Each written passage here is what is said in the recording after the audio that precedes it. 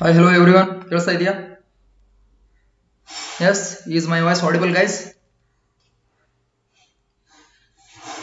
ನನ್ನ ವಾಯ್ಸ್ ಕೇಳಿಸ್ತಾ ಇದೆ ಅಂತ ಅನ್ಕೊಂತೀನಿ.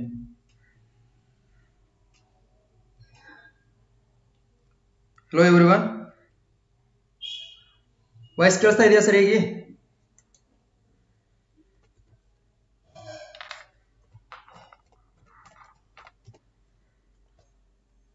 ಓಕೆ ಎವ್ರಿವನ್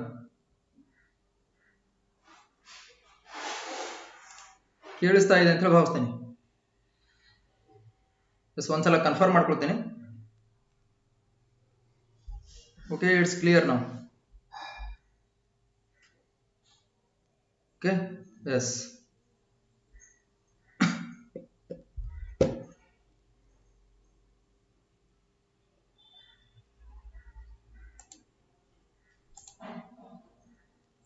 ಎಸ್ ಈಗ ಕ್ಲಿಯರ್ ಇದೆ ಅಂತ ಅನ್ಕೋತೀನಿ ಎಸ್ ಕ್ಲಿಯರ್ ಇದೆಯಾ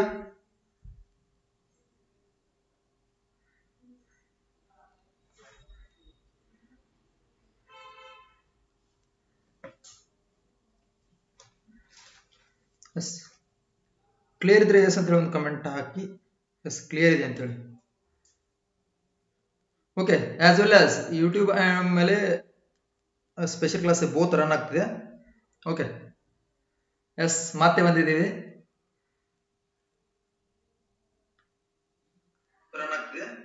ಓಕೆ ಓಕೆ ಡನ್ ಕೇಳಿಸ್ತಾ ಇದೆ. ಕ್ಲಿಯರ್ ಆಗಿ ಕೇಳಿಸ್ತಾ ಇದೆ. ಏನು ಸಮಸ್ಯೆ ಇಲ್ಲ? ಓಕೆ ಎಸ್ ಇಲ್ಲಿ ಆಸ್ ವೆಲ್ ಆಸ್ ಅದೇ ರೀತಿ ಇದನ್ನು ಕೂಡ ನೋಡ್ತೀನಿ. Okay guys thank you so much ಎರಡು ಕಡೆ ಒಮ್ಮೆ ರನ್ ಆಗ್ತಿದೆ. ಇಲ್ಲಿ ಯೂಟ್ಯೂಬ್ ಕಮೆಂಟ್ ಅನ್ನು ಕೂಡ ನೋಡಬೇಕು ನಿಮ್ಮ ಕಮೆಂಟ್ ಅನ್ನು ಕೂಡ ನೋಡಬೇಕಾಗ್ತದೆ. ಓಕೆ ಡನ್ ಎಸ್ ಜಾಯ್ನ್ ಆಗ್ತಾ ಇದ್ದಾರೆ? Done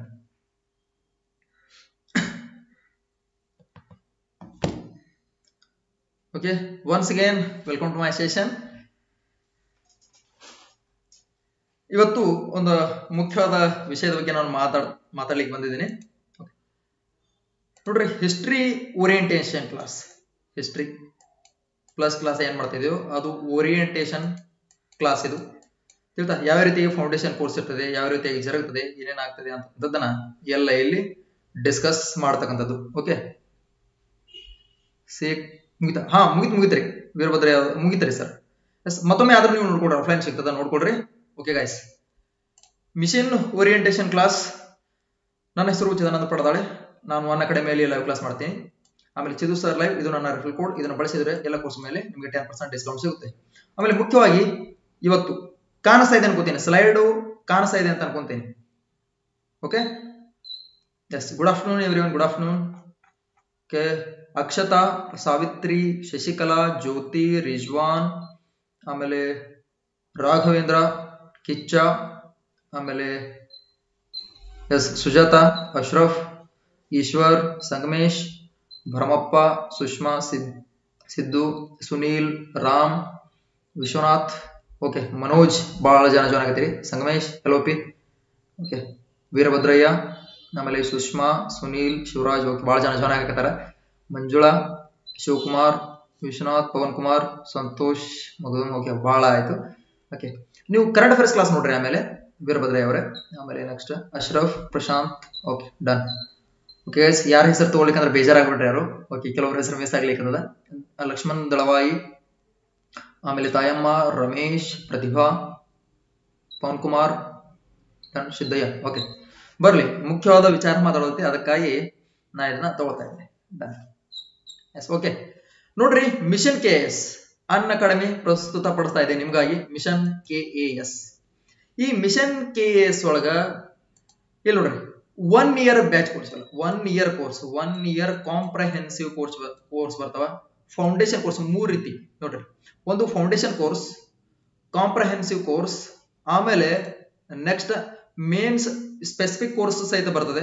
ಆಮೇಲೆ ಕರೆಂಟ್ ಅಫೇರ್ಸ್ ಮುಖ್ಯವಾಗಿ ಇಲ್ಲಿ ನೋಡ್ರಿ ಯಾವುದೋ ಒಂದು ವಿಷಯವನ್ನ ನಾವು ಕಲಿಬೇಕು ಅಂತಂದ್ರೆ ಓಕೆ ಹಾ ಎಸ್ ಯಾವುದೇ ವಿಷಯವನ್ನು ಕಲಿಬೇಕಂದ್ರೆ ಮೊದಲ ಬೇಸಿಕ್ ಅಡಿಪಾಯ ಅನ್ನೋದು ಬಹಳ ಭದ್ರವಾಗಿರ್ಬೇಕು ಕ್ಲಿಯರ್ ಆಗಿ. ಅದನ್ನ ಅರ್ಥ ಮಾಡ್ಕೊಡ್ರಿ. ಅಡಿಪಾಯ ಅನ್ನೋದು ಬಹಳ ಭದ್ರವಾಗಿ, ಬಹಳ ಕ್ಲಿಯರ್ ಆಗಿರ್ಬೇಕು. ಒಂದು ಮನೆ ಕಟ್ತೇವೆ ಅಂತಂದ್ರೆ ಸರಿಯಾಗಿ ಅದು ನಿಲ್ಲಬೇಕಪ್ಪ. ಬಿಲ್ಡಿಂಗ್ ಮ್ಯಾಗ ಬಿಲ್ಡಿಂಗ್ ಬಿಲ್ಡಿಂಗ್ ಮ್ಯಾಗ ಬಿಲ್ಡಿಂಗ್ ಒಂದಕ್ಕೊಂದು ಕಟ್ಕೋತ್ ಹೋಗ್ತೀರಿ ಅಂತಂದ್ರ ಫೌಂಡೇಶನ್ ಬಾಳ ಕಟ್ಟಬೇಕು ಹಂಗ ಇಲ್ಲಿ ನಾವು ಫೌಂಡೇಶನ್ ಕೋರ್ಸ್ ಒಳಗೆ ಮಾಡ್ತೀವಿ. ಪ್ರತಿಯೊಂದು ಏನು ಫಂಡಮೆಂಟಲ್ ಕಾನ್ಸೆಪ್ಟ್ ಏನದವು ಯಾವ್ದನ್ನ ತಿಳ್ಕೊಬೇಕಾದ್ರೂ ಏನು ಮಸ್ಟ್ ಅಂಡ್ ಶುಡ್ ಬೇಕಾಗಿರ್ತದಲ್ಲ, ಅದನ್ನ ನಾವು ಬಹಳ ಕ್ಲಿಯರ್ ಆಗಿ ನಿಮ್ಗೆ ಇಲ್ಲಿ ತಿಳಿಸ್ಕೊಡ್ತೀನಿ. ಫೌಂಡೇಶನ್ ಕೋರ್ಸ್ ಉದ್ದೇಶ ಎಷ್ಟೇ ಅರ್ಥ ಮಾಡ್ಕೊಡ್ರಿ, ಇವತ್ತು ಫುಲ್ ಓರಿಯಂಟೇಶನ್ ಹೇಳ್ತೀನಿ ನಾನು. Foundation course fundamental concept basic ಆಗಿ ಏನ್ ಬೇಕೋ ಅವುಗಳೆಲ್ಲವನ್ನ ಕ್ಲಿಯರ್ ಮಾಡ್ತೀವಿ. ತಿಳಿದ? ಇನ್ನ ಯಾರು ಸ್ಟಾರ್ಟಿಂಗ್ ಈಗ ಬರ್ಲಿಕ್ಕತ್ತಿದ್ದೀರಿ ಕಾಂಪಿಟೇಟಿವ್ ಫೀಲ್ಡ್ಗೆ ಕೆಲವೊಬ್ರು ಈಗ ಎಂಟ್ರಿ ಹೊಡೆದಿರ್ತೀರಿ ಕೆಲವೊಬ್ರು ಹೇಳ್ತಿರ್ತಾರ, ಸರ್, ಯಾವ ಕಾನ್ಸೆಪ್ಟ್ ಕೂಡ ಕ್ಲಿಯರ್ ಆಗ್ತಾ ಇಲ್ಲ. ಯಾವ ರೀತಿ ಓದ್ಬೇಕು ಅನ್ನೋದು ತಿಳಿತಾ ಇಲ್ಲ, ಅರ್ಥ ಆಗ್ತಾ ಇಲ್ಲ, ಏನ್ ಮಾಡಬೇಕು ಅಂತ ಹೇಳಿ ಬಹಳ ಜನ ಪ್ರಶ್ನೆ ಏನ್ ಕೇಳ್ತಿರ್ತೀರಿ. ಓಕೆ ಎಸ್ ಬಹಳ ಜನ ಆ ಪ್ರಶ್ನೆಯನ್ನ ಕೇಳ್ತಿರ್ತೀರಿ. ಕ್ಲಿಯರ್ ಆದ್ರೆ ಇಲ್ಲಿ ಯಾರು ಸರ್ ನಾವು ಜೀರೋದಿಂದ ಸ್ಟಾರ್ಟ್ ಮಾಡ್ಲಿಕ್ಕತ್ತಿದೀವಿ ನಾವು ಎಷ್ಟ? ಜೀರೋದಿಂದ ಶುರು ಮಾಡ್ಲಿಕ್ಕತ್ತಿದೀವ್ರಿ ಸರ್ ಅಂತ್ರಿ ಅಂತ ಕೂಡ ನಿಮ್ಗೆ ಜೀರೋದಿಂದನ ಕಲ್ಸ್ಬೋದು ತಾವು ನೀವು ಜೀರೋದ್ರಿ ನಿಮ್ಗೆ ಏನು ಗೊತ್ತಿಲ್ಲ. ಏನೇನು ಗೊತ್ತಿಲ್ಲ ಅಂದ್ರೂ ಕೂಡ ಆ ಜೀರೋದಿಂದ ಫೌಂಡೇಶನ್ ನಿಮ್ದು ಬಿಲ್ಡ್ ಮಾಡ್ತಾ ಬಿಲ್ಡ್ ಮಾಡ್ತಾ ಬಿಲ್ಡ್ ಮಾಡ್ತಾ ಇದು ನಿಮಗೆ ಯಾವ ಮಟ್ಟಕ್ಕೆ ಹೆಲ್ಪ್ ಆಗ್ಬೇಕಂತ mains level K S mains level help ಆಗುವಂಗ ನಾವಿಲ್ಲಿ ಹೇಳ್ತಾ ಹೋಗ್ತೀವಿ. ತಿಳಿತಾ? ಫೌಂಡೇಶನ್ ಕೋರ್ಸ್ ಒಳಗೇನು ಫಂಡಮೆಂಟಲ್ ಕಾನ್ಸೆಪ್ಟ್ ಏನಿರ್ತದೋ ಆ ಫಂಡಮೆಂಟಲ್ ಕಾನ್ಸೆಪ್ಟ್ ಅನ್ನ ಬಹಳ ನೀಟಾಗಿ, ಬಹಳ ಕ್ಲಿಯರ್ ಆಗಿ ನಾವಿಲ್ಲಿ ತಿಳಿಸ್ತಾ ತಿಳಿಸ್ತಾ ಹೋಗ್ತೀವಿ. ಓಕೆ ಕ್ಲಿಯರ್ ಕಾಣ್ತಾರೆ ಡೋಂಟ್ ವರಿ ಓಕೆ ಎಸ್ ಇಲ್ಲಿ ನಮಸ್ತೆ ನಮಸ್ತೆ. ಹಾ ಕ್ಲಾಸ್ ಇರುತ್ತೆ ತ್ರೀ ಥರ್ಟಿ ಕ್ಲಾಸ್ ಇರ್ತದೆ. ಓಕೆ ಜೂಮ್ ಕಾಣ್ತಿದೆ ನೋಡ್ರಿ ಕ್ಲಿಯರ್ ಆಗಿ ಕಾಣ್ತಿದೆ ಯಾರು? ಪರಮೇಶ್ ಕ್ಲಿಯರ್ ಆಗಿ ಕಾಣ್ತಿದೆ ಕ್ಲಿಯರ್ ಆಗಿ ಕಾಣ್ತಿದೆ ಏನು ಸಮಸ್ಯೆ ಇಲ್ಲ. ಓಕೆ ಇನ್ನ ಹೆಲ್ಪ್ಫುಲ್ ಫಾರ್ ಬಿಗಿನರ್ಸ್ ಒಂದೇನ್ರಿ ಫಂಡಮೆಂಟಲ್ ಕಾನ್ಸೆಪ್ಟ್ ಕ್ಲಿಯರ್ ಮಾಡ್ತೀವಿ. ಉದ್ದೇಶ ಫಂಡಮೆಂಟಲ್ ಕಾನ್ಸೆಪ್ಟ್ಗಳನ್ನ ಕ್ಲಿಯರ್ ಮಾಡ್ತೀವಿ. ಆಮೇಲೆ ಯಾರು ಬಿಗಿನರ್ ಅದಾರೋ, ಈಗ ಯಾರು ಕಾಂಪಿಟೇಟಿವ್ ಫೀಲ್ಡ್ ಎಂಟ್ರಿ ಹೊಡೆದಾರೋ, ಅವ್ರಿಗೆ ಮಾತ್ರ ಕ್ಲಿಯರ್ ಆಗಿ ಅರ್ಥ ಆಗೋಂಗೆ ತಿಳಿಸಿಕೊಡ್ತೀವಿ. ಆಮೇಲೆ ಯಾರು ರಿವೈಸ್ ಮಾಡಕ್ ಇಷ್ಟಪಡ್ತಾರ ಮತ್ತೆ ಯಾರು ಸ್ವಲ್ಪ ನಮ್ಮ ಕ್ಲಾಸ್ಗೆ ರಿವಿಸಿಟ್ ಮಾಡ್ಲಿಕ್ಕೆ ಇಷ್ಟಪಡ್ತಾರ ಯಾರು ರಿವೈಸ್ ಮಾಡ್ಬೇಕಂತ ಹೇಳಿ ಬಯಸ್ತಾರು ಆಮೇಲೆ ಮತ್ತೆ ಎಲ್ಲ ಓದಿನ ಸರ ಓದಿದ್ದನ್ನ ಮತ್ತೊಮ್ಮೆ ಏನ್ ಮಾಡ್ತೀನಿ? ರಿವೈಸ್ ಮಾಡ್ತೀನಿ. ರಿವೈಸ್ ಮಾಡ್ಬೇಕಾದ್ರೆ ನಮ್ಮ ಕ್ಲಾಸ್ ಒಳಗೆ ನೀವು ರಿವಿಸಿಟ್ ಮಾಡ್ಬೇಕಾಗ್ತದ. ರಿವೈಸ್ ಮಾಡ್ಬೇಕಾದ್ರ ನಮ್ಮ ಕ್ಲಾಸ್ ಒಳಗೆ ಬಂದ್ ಏನ್ ಮಾಡ್ಬೇಕಾಗ್ತದ? ರಿವಿಸಿಟ್ ಮಾಡ್ಬೇಕಾಗ್ತದ. ಓಕೆ ಅದಕ್ಕಾಗಿ ಒಂದು ಫಸ್ಟ್ ಫೌಂಡೇಶನ್ ಕೋರ್ಸ್ ಉದ್ದೇಶ ತಿಳ್ಕೊರಿ. ಮಸ್ಟ್ ಅಂಡ್ ಶುಡ್ ಫಸ್ಟ್ ಏನ್ ಮಾಡ್ತೀವಿ ನಾವು? ಫಂಡಮೆಂಟಲ್ ಬೇಸಿಕ್ ಕಾನ್ಸೆಪ್ಟ್ ಗಳನ್ನ ಮುಗಿಸ್ಕೊಡ್ತೀವಿ. ಹೇಳ್ತಾ ಫಂಡಮೆಂಟಲ್ ಬೇಸಿಕ್ ಕಾನ್ಸೆಪ್ಟ್ ಗಳನ್ನ ಒಂದೂ ಬಿಡ್ಲಾರದಂತೆ ಬೇಸಿಕ್ ಅಂಶಗಳು ನಿಮ್ಗೆ ಏನೇನ್ ಬೇಕೋ ಎಲ್ಲವನ್ನ ಕ್ಲಿಯರ್ ಮಾಡ್ಕೊಡ್ತೀವಿ. ಒಂದಿನದು ಬೇಸಿಕ್ ಕಾನ್ಸೆಪ್ಟ್ ಆಮೇಲೆ ಎರಡನೇದು, ಯಾರು ಈಗ ಸ್ಟಾರ್ಟಿಂಗ್ ಬರ್ಲಿಕ್ಕತ್ತಿದ್ರಿ ಅವ್ರಿಗಂತೂ ಹಂಡ್ರೆಡ್ ಪರ್ಸೆಂಟ್ ಹೆಲ್ಪ್ಫುಲ್ ಆಗುವಂಗ ನಾವು ನಿಮ್ಗೆ ಕಾನ್ಸೆಪ್ಟ್ ಗಳನ್ನ ತಿಳಿಸಿಕೊಡ್ತೀವಿ. ಎಸ್ಪೆಷಲಿ ಈ ಒಂದು ಸೈನ್ಸ್ ಬ್ಯಾಕ್ ಗ್ರೌಂಡ್ ಇಂದ ಯಾರು ಬರ್ತಾರೋ, ಈಗ ಹಿಸ್ಟ್ರಿ ಏನು ಅನ್ನೋದೇನು ಆರ್ಟ್ಸ್ ಒಂದು ಸೆಕ್ಟರ್ ಇಂದ ಬಂದಿರ್ತದ. ಆರ್ಟ್ ಸೆಕ್ಟರ್ ಹಿಸ್ಟ್ರಿ ಅಂದ್ರೆ ನೀರ್ ಕೊಡೋದಷ್ಟೇ ಈಜಿ ಆಗಿ ಎಲ್ಲ ಮಾಡ್ಬಿಡ್ತಿರೋ ಆನ್ಸರ್ ಬಟ್ ಈ ಸೈನ್ಸ್ ಬ್ಯಾಕ್ಗ್ರೌಂಡ್ ಇಂದ ಬಂದವರಿಗೆ ಸ್ವಲ್ಪ ಕಷ್ಟ ಅನಿಸ್ತದ. ಸ್ವಲ್ಪ ಕಷ್ಟ ಅನಿಸ್ತದ. ಅದನ್ನ ನಾವಿಲ್ಲಿ ಕ್ಲಿಯರ್ ಆಗಿ ತಿಳಿಸ್ಕೊಡ್ತೀವಿ. ಕ್ಲಿಯರ್ ಆಗಿ ಒಂದು ಬಿಡ್ಲಾರ್ದಂಗೆ ತಿಳಿಸ್ಕೊಡ್ತೀವಿ. ಸೈನ್ಸ್ ಹುಡುಗರು ಬಹಳ ಜನ ಹೇಳೋರು ಇನ್ನು ಸರಿ ಹಿಸ್ಟ್ರಿ ಏನ್ರಿ? ಎಷ್ಟೋ ವಿಷಯಗಳು ಬರ್ತಾರ, ಎಷ್ಟೋ ಜನ ಬರ್ತಾರ. ನೆನ್ಪಿಟ್ಕೊಳಕ್ ಆಗಿಲ್ಲ ಹೆಸರು ಅಂತಾರ. Don't worry we are with you ತಿಳ್ತಾ? ಅನ್ನ ಕಡೆ ನಿಮ್ ಜೊತೆಗೈತಿ. ಫೌಂಡೇಶನ್ ಕೋರ್ಸ್ ಒಳಗ ನಾವು ಫೋಕಸ್ ಮಾಡೋದು ಅದ್ರ ಮ್ಯಾಗ. ನೀವು ಯಾವ್ದಾ ಸ್ಟ್ರೀಮ್ ಇರ್ರಿ, ನೀವು ಯಾವ್ದೋ ಸೆಪ್ಟ್ ಇರ್ರಿ, ನಿಮ್ಗೆ ಏನ್ ಮಾಡ್ತೀವಿ? ಬೇಸಿಕ್ ಅನ್ನ ಬಹಳ ನೀಟಾಗಿ ಬಹಳ ಕ್ಲಿಯರ್ ಆಗಿ ತಿಳಿಸ್ಕೊಡ್ತೀವಿ. ಓಕೆ ಇನ್ನ ಯಾರು ಇದನ್ನ ಮಾಡ್ಬೇಕಂತೀರಿ? ಬೇಸಿಕ್ಸ್ ಅನ್ನ ಮತ್ತಷ್ಟು ಸ್ಟ್ರಾಂಗ್ ಮಾಡ್ಕೋಬೇಕು. ಓದಿದೀವಿ ಸರ್ ಮತ್ತೊಮ್ಮೆ ನಾವು ರಿವಿಷನ್ ಮಾಡ್ತೀವಿ ಅಂತಂದ್ರ ನೀವು ನಮ್ಮ ಕ್ಲಾಸ್ ಮತ್ತೆ ರಿವಿಸಿಟ್ ಮಾಡ್ರಿ, ಕಲೀರಿ, ಪ್ರತಿಯೊಂದನ್ನ ಕಾನ್ಸೆಪ್ಟ್ ಕ್ಲಿಯರ್ ಮಾಡ್ಕೊಡ್ರಿ. ಮತ್ತೆ ನೀವು ಎಷ್ಟೋ ಓದಿದ್ರು, ಒಂದು ಮಾತು ಹೇಳ್ತೀನಿ ನಿಮ್ಗೆ. ಸರ್ ನಾ ಎಲ್ಲ ಓದಿನ್ರಿ, ನಾ ಪರ್ಫೆಕ್ಟ್ ಅದೀನಿ ಅಂತಂದ್ರ ಆಗಂಗಿಲ್ಲ. ಯಾಕಂತಂದ್ರ, ನೀವು ಓದಿದ್ದನ್ನ ಮೇಲಿಂದ ಮೇಲೆ ಪದೇ ಪದೇ ರಿವೈಸ್ ರಿವೈಸ್ ರಿವೈಸ್ ಬಹಳ ಜನ ಹೇಳ್ತಾರೆ, ಸರ್ ನೆನ್ಪಿಟ್ಕೊಳ್ಳೋದು ಹೆಂಗ. ಕಮೆಂಟ್ ಮಾಡ್ತಿರ್ತಾರೆ. ನಾವು ಕ್ಲಾಸ್ ಮಾಡ್ತಿರ್ಬೇಕಾದ್ರೆ ಕಮೆಂಟ್ ಮಾಡ್ತಾರೆ ಕೆಲವರು ಸರ್, ಹೆಂಗ? ತಿಳ್ತಾ ಹೆಂಗ ನೆನ್ಪಿಟ್ಕೋಬೇಕು? ಅಂತ ಕೇಳ್ತಾರೆ. ನೆನ್ಪಿಟ್ಕೊಳಕ್ ಒಂದ ಸೂತ್ರ ರಿವೈಸ್ ರಿವೈಸ್ ರಿವೈಸ್ ಅಷ್ಟೇ, ಮತ್ತೇನಿಲ್ಲ. ಆಟ ಬಿಟ್ರೆ ಬೇರೆ ಯಾವುದೋ ಅಂಶಗಳಿಲ್ಲ. ಎಷ್ಟು ರಿವಿಷನ್ ಮಾಡ್ತಿರೋ ಅಷ್ಟು ಕರೆಕ್ಟ್ ಆಗಿ ನಿಮಗೆ ಮಾಹಿತಿಗಳು ಏನಾಗ್ತವ? ಅರ್ಥವಾಗುತ್ತಾ ಅರ್ಥವಾಗುತ್ತಾ ಅರ್ಥವಾಗುತ್ತಾ ಹೋಗ್ತಾ ಇವತ್ತು ಹೇಳ್ತಾನ ಬೇಸಿಕ್ ಹಿಸ್ಟ್ರಿ ಒಳಗ ನಾನು ನಿಮ್ಗೆ ಏನನ್ನ ತಿಳಿಸ್ಕೊಡ್ತೀನಿ, ಯಾವ ರೀತಿಯಾಗಿ ತಿಳಿಸ್ಕೊಡ್ತೀನಿ, ನಿಮ್ಗೆ ನೆನಪು ಯಾವ ರೀತಿ ಹೇಳ್ಕೊಡ್ತೀನಿ ಅದೆಲ್ಲವನ್ನು ಕೂಡ ಎಕ್ಸ್ಪ್ಲೈನ್ ಮಾಡ್ತೀನಿ. ಓಕೆ ಕ್ಲಾಸ್ ಶುರು ಮಾಡೇನ್ರಿ? ಮೊದಲು ಇದು ನಮ್ಮ ಹುಡುಗರು ಗೊತ್ತಾಗ್ತದೆ. ಈಶ್ವರ್ ಅವರ ಕ್ಲಾಸ್ ಶುರು ಮಾಡ್ತೀನಿ. ಈ ಕ್ಲಾಸೇ ಇದು. ತಿಳಿತಾ? ಓರಿಯೆಂಟೇಷನ್ ಕ್ಲಾಸೇ ಇದು. ನಾನು ನಿಮ್ಗೆ ಇಲ್ಲಿ ಯಾವ ರೀತಿ ಮಾಡಬೇಕು? ಇದು ಮೇನ್ ಇಂಪಾರ್ಟೆಂಟ್ ಇದನ್ನ ಕಾನ್ಸೆಪ್ಟ್ ನಿಮ್ಗೆ ತಿಳಿಸಿ ನಾನು ಮುಂದೆ ಹೋಗು ಹಿಸ್ಟ್ರಿ ಒಳಗೆ ಮಾತೇನು ಹೇಳ್ತಾನೆ ಅನ್ನೋದು ಕೂಡ ಅದು ಒಂದು ಐತಿ. ಅದನ್ನು ಹೇಳ್ತೀನಿ. ನೋಡ್ರಿ, ಸ್ವಲ್ಪ ತಾಳ್ಮೆ ಇರಲಿ. ಸ್ವಲ್ಪ ತಾಳ್ಮೆಯಿಂದ ಪೂರ್ತಿ ಕೂತ್ಕೊಂಡು ಕೇಳ್ರಿ. ಈ ಕ್ಲಾಸ್ ನಿಮ್ಗೆ ಹಂಡ್ರೆಡ್ ಪರ್ಸೆಂಟ್ ವ್ಯಾಲಿಡ್ ಅನ್ಸೆ ಅನ್ಸುತ್ತೆ. Okay yes foundation course basic concept clear ಮಾಡ್ತೀನಿ. ಬಿಗಿನರ್ಗೆ ಭಾಳ ಭಾಳ ಹೆಲ್ಪ್ಫುಲ್ ಆಗ್ತದೆ. ಮತ್ತೆ ನೀವು ನಮ್ಮಲ್ಲಿ ರಿವಿಷನ್ ಮಾಡಬಹುದು ಇನ್ನು comprehensive course most important comprehensive course ಈಗ ತಳಪಾಯ ಹಾಕಿರಿ. ಮನಿ ಕಟ್ಟಬೇಕಲ್ಲ ಚಂದಂಗ. ಹೌದಾ? ಮನ್ಯಾಗ ವಾಸ ಮಾಡ್ಬೇಕು, ಎಷ್ಟೋ ವರ್ಷ ವಾಸ ಮಾಡ್ತಿರ್ತೀರಿ. ನಿಮಗ್ ಬರ್ಬೇಕು ನಿಮ್ಮ ಮಕ್ಳಿಗೆ ಬರ್ಬೇಕು ನಿಮ್ಮ ಮೊಮ್ಮಕ್ಳಿಗೆ ಬರ್ಬೇಕು, ಮರಿ ಮಕ್ಳು, ಗಿರಿ ಮಕ್ಳು ಎಲ್ಲ ವಾಸ ಮಾಡಿರ್ತಾರ ಅದ್ರೊಳಗ. ಹೇಳ್ತಾ ಹಂಗ ಇಲ್ಲಿ ಫೌಂಡೇಶನ್ ಕೋರ್ಸ್ ಅಂತ ಕರೆಕ್ಟ್ ಆಗಿ ಕೂತ್ ಇಲ್ಲ ಈಶ್ವರ ಸಾರಿ ಕೇಳ್ಬಿಡಕ್ಕ. ಹಂಗೇನಿಲ್ಲ, ನಾನು ಹೇಳದೆ. ಸ್ವಲ್ಪ ನೀವು ತಾಳ್ಮೆಯಿಂದ ಕೇಳ್ರಿ, ನಾ ಕ್ಲಿಯರ್ ಆಗ್ತದ. ಈಶ್ವರ ಬೇಜಾರಾಗ್ಬಿಡಪ್ಪಿ ಹಾ ಓಕೆ ಇನ್ನ ಕಾಂಪ್ರಹೆನ್ಸಿವ್ ಕೋರ್ಸ್ ಅಂದ್ರೆ ಏನ್ ಬರ್ತೈತಪ್ಪ ಅಂತಂದ್ರ ಇಲ್ಲಿ ಏನ್ ಡೆಪ್ತ್ ಅನಲೈಸಸ್ ಫೌಂಡೇಶನ್ ಕೋರ್ಸ್ ಒಳಗೆ ಕರೆಕ್ಟ್ ಆಗಿ ನಿಮಗೆ ಒಂದು ಬೇಸ್ ಫೌಂಡೇಶನ್ ಕೊಟ್ಬಿಡ್ತೀವಿ. ಇಲ್ಲಿ ಏನ್ ಮಾಡ್ತೀವಪ್ಪ ಅಂದ್ರೆ ಇನ್ ಡೆಪ್ತ್ ಅನಲೈಸಸ್ ಯಾವ ಮಟ್ಟಕ್ಕೆ ಅಂತಂದ್ರ ನೀವು ಮೇನ್ಸ್ ಬರೆಯುವ ಮಟ್ಟಕ್ಕ, ತಿಳ್ತಾ? ಮೇನ್ಸ್ ಆನ್ಸರ್ ಬರೆಯುವ ಮಟ್ಟಕ್ಕೆ, ತಿಳ್ತಾ? ಅದಕ್ಕೆ ಹೆಸರಾದ ಮಿಷನ್ ಕೆ ಎಸ್ ಅಂತ ಹೇಳಿ. ಕ್ಲಿಯರ್ ಎಸ್ ಮತ್ತೆ ಮಿಷನ್ ಕೆ ಎಸ್ ಅಂದ್ರೆ ಇದು ಬರೀ ಕೆ ಎಸ್ ಕಷ್ಟ ಅಂತ ಅನ್ಕೋಬೇಡ. ನಿಮ್ಗೆ ಮುಂದೆ ಬರ್ತಕ್ಕಂಥ ಪ್ರತಿಯೊಂದು ಎಕ್ಸಾಮ್ ಈಗ ಫೌಂಡೇಶನ್ ಕೋರ್ಸ್ ಅಂದ್ರೆ ಪಿ ಸಿ ಹಿಡ್ಕೊಂಡ್ ಇದಕ್ಕೆ ಎಸ್ ತಕ ಹೆಲ್ಪ್ ಆಗಿ ಆಗ್ತದೆ ನಿಮ್ಗೆ ಫೌಂಡೇಶನ್ ಕೋರ್ಸ್ ಅಂದ್ರೆ. ತಿಳ್ತಾ ಪಿ ಸಿ ಹೆಲ್ಪ್ ಆಗ್ತದ ಪಿ ಎಸ್ ಐ ಹೆಲ್ಪ್ ಆಗ್ತದ, ಆಮೇಲೆ ಎಸ್ ಡಿ ಹೆಲ್ಪ್ ಆಗ್ತದ ಎಫ್ ಡಿ ಹೆಲ್ಪ್ ಆಗ್ತದ ಟೀಚರ್ಸ್ ಎಕ್ಸಾಮ್ ಬರೆಯವ್ರಿಗೆ ಹೆಲ್ಪ್ ಆಗ್ತತಿ. ಪ್ರತಿಯೊಂದಕ್ಕೂ ಹೆಲ್ಪ್ ಆಗ್ತದ ಫೌಂಡೇಶನ್ ಕೋರ್ಸ್ ಅರ್ಥ ಮಾಡ್ಕೊಳ್ರಿ. ಕ್ಲಿಯರಾ ಹಾ? ಎಸ್ ಪ್ರತಿಯೊಂದಕ್ಕೂ ಪಿ ಸಿ ಹಿಡ್ಕೊಂಡು ಪಿ ಎಸ್ ಐ ಬರೋರು ಎಲ್ಲದಕ್ಕೂ. ಇಲ್ಲಿ ಮಿಷನ್ ಕೇಸ್ ನೀವು ಬರೆಯೋದ ಕಟ್ಟ ಇರ್ತಲ್ಲ ಈಗ, ಯಾವುದು ಪಿ ಸಿ ಕೂಡ ಅವ ಪ್ರಶ್ನೆಗಳು ಬರ್ತಾವ ಪಿ ಎಸ್ ಐ ಪ್ರಶ್ನೆಗಳು ಬರ್ತಾವ ಎಸ್ ಡಿ ಬಿಡಿಯ ಪ್ರಶ್ನೆಗಳು ಬರ್ತಾವ. ಕೇಸ್ ಒಳಗೆ ಕೇಳ್ಬೇಕಾದ್ರೆ ಸ್ವಲ್ಪ ಇನ್ ಡೆಪ್ತ್ ಕೇಳ್ತಾನು ಅನಲೈಸ್ ಮಾಡಿ ಕೇಳ್ತಾನ ಫಸ್ಟ್ ಅಷ್ಟು ಬಿಟ್ರೆ ಮತ್ತೆ ನೋಡಿ ಡಿಫ್ರೆನ್ಸ್ ಇಲ್ಲ. ನೀವು P C P S I ಮತ್ತೆ ಏನ್ ಮಾಡ್ತೀರೋ ಅವರೆಲ್ಲರೂ ಕೂಡ ಇದನ್ನ ತಿಳ್ಕೊಡ್ರಿ ಕಲಿಯಿರಿ ಈ ಫೌಂಡೇಶನ್ ಕೋರ್ಸ್ಗೆ ನೀವು ಎನ್ರೋಲ್ ಆದ್ರೆ ಬಹಳ ಬಹಳ ಒಳ್ಳೇದು. ಇನ್ನು ಕಾಂಪ್ರಹೆನ್ಸಿವ್ ಕೋರ್ಸ್ ಒಳಗ in depth analyses full depth comprehensive course yes ಹಾ. ಅಶ್ರಫ್ ಅವ್ರು ಏನ್ ಕೇಳ್ತಾರು? ಕಾಂಪ್ರಹೆನ್ಸಿವ್ ಫೌಂಡೇಶನ್ ಕೋರ್ಸ್ ಡಿಫ್ರೆಂಟ್ ಹಾ. ಫೌಂಡೇಶನ್ ಕೋರ್ಸ್ ಬೇರೆ ಕಾಂಪ್ರಹೆನ್ಸಿವ್ ಕೋರ್ಸ್ ಬೇರೆ, ಎರಡು ಒಂದ ಮಾಡಂಗಿಲ್ರಿ, ಅರ್ಥ ಮಾಡ್ಕೊಡ್ರಪ್ಪ ನಿಮಗೆ ಫೌಂಡೇಶನ್ ಕೋರ್ಸ್ ಕ್ಲಿಯರ್ ಆಗಿ ಕೊಟ್ಟ ಮೇಲೆ ಕಾಂಪ್ರಹೆನ್ಸಿವ್ ಕೋರ್ಸ್ ಅಂತ ಬೇರೆ ಇರ್ತದ. ನೀವು ಫೌಂಡೇಶನ್ ಕೋರ್ಸ್ ಮುಗಿಸ್ಕೊಂಡು ಕಾಂಪ್ರಹೆನ್ಸಿವ್ ಕೋರ್ಸ್ ಕುತ್ಕೊಂಡು ಎರಡು ಕಂಪ್ಲೀಟ್ ಮಾಡ್ಕೊಂಡ್ರಿ ಅಂತಂದ್ರೆ ಫೈನಲ್ ನೀವು ಮತ್ತೆ ಬೇರೆ ಒಂದು ಮಟೀರಿಯಲ್ ಓದೋದು ಅವಶ್ಯಕತೆ ಇಲ್ಲ. ಅಶ್ರಫ್ ಅವರ ನಾ ಹೇಳ್ತಾ ಇದ್ದೀನಿ ಫೌಂಡೇಶನ್ ಕೋರ್ಸ್ ಬೇರೆ ಕಾಂಪ್ರಹೆನ್ಸಿವ್ ಕೋರ್ಸ್ ಬೇರೆ, ಎರಡು ಒಂದೇ ರೀತಿ ನಡೆಯಂಗಿಲ್ಲ. ತಿಳಿತಾ ಫೌಂಡೇಶನ್ ಅಂದ್ರೆ ಕೇವಲ ಫೌಂಡೇಶನ್ ತಳಹದಿ ಏನ್ ಬೇಕೋ ಅದನ್ನ ಹೇಳ್ತೀವಿ. ಆಮೇಲೆ ಕಾಂಪ್ರಹೆನ್ಸಿವ್ ಬಂದಾಗ ಅದನ್ನೇ ಇನ್ ಡೆಪ್ತ್ ಆಗಿ ಹೇಳ್ತಾ ಹೋಗ್ತೀವಿ. ತಿಳಿತಾ ಡಿಫ್ರೆಂಟ್ ಪ್ಲಸ್ ಕೋರ್ಸ್ ಎರಡು.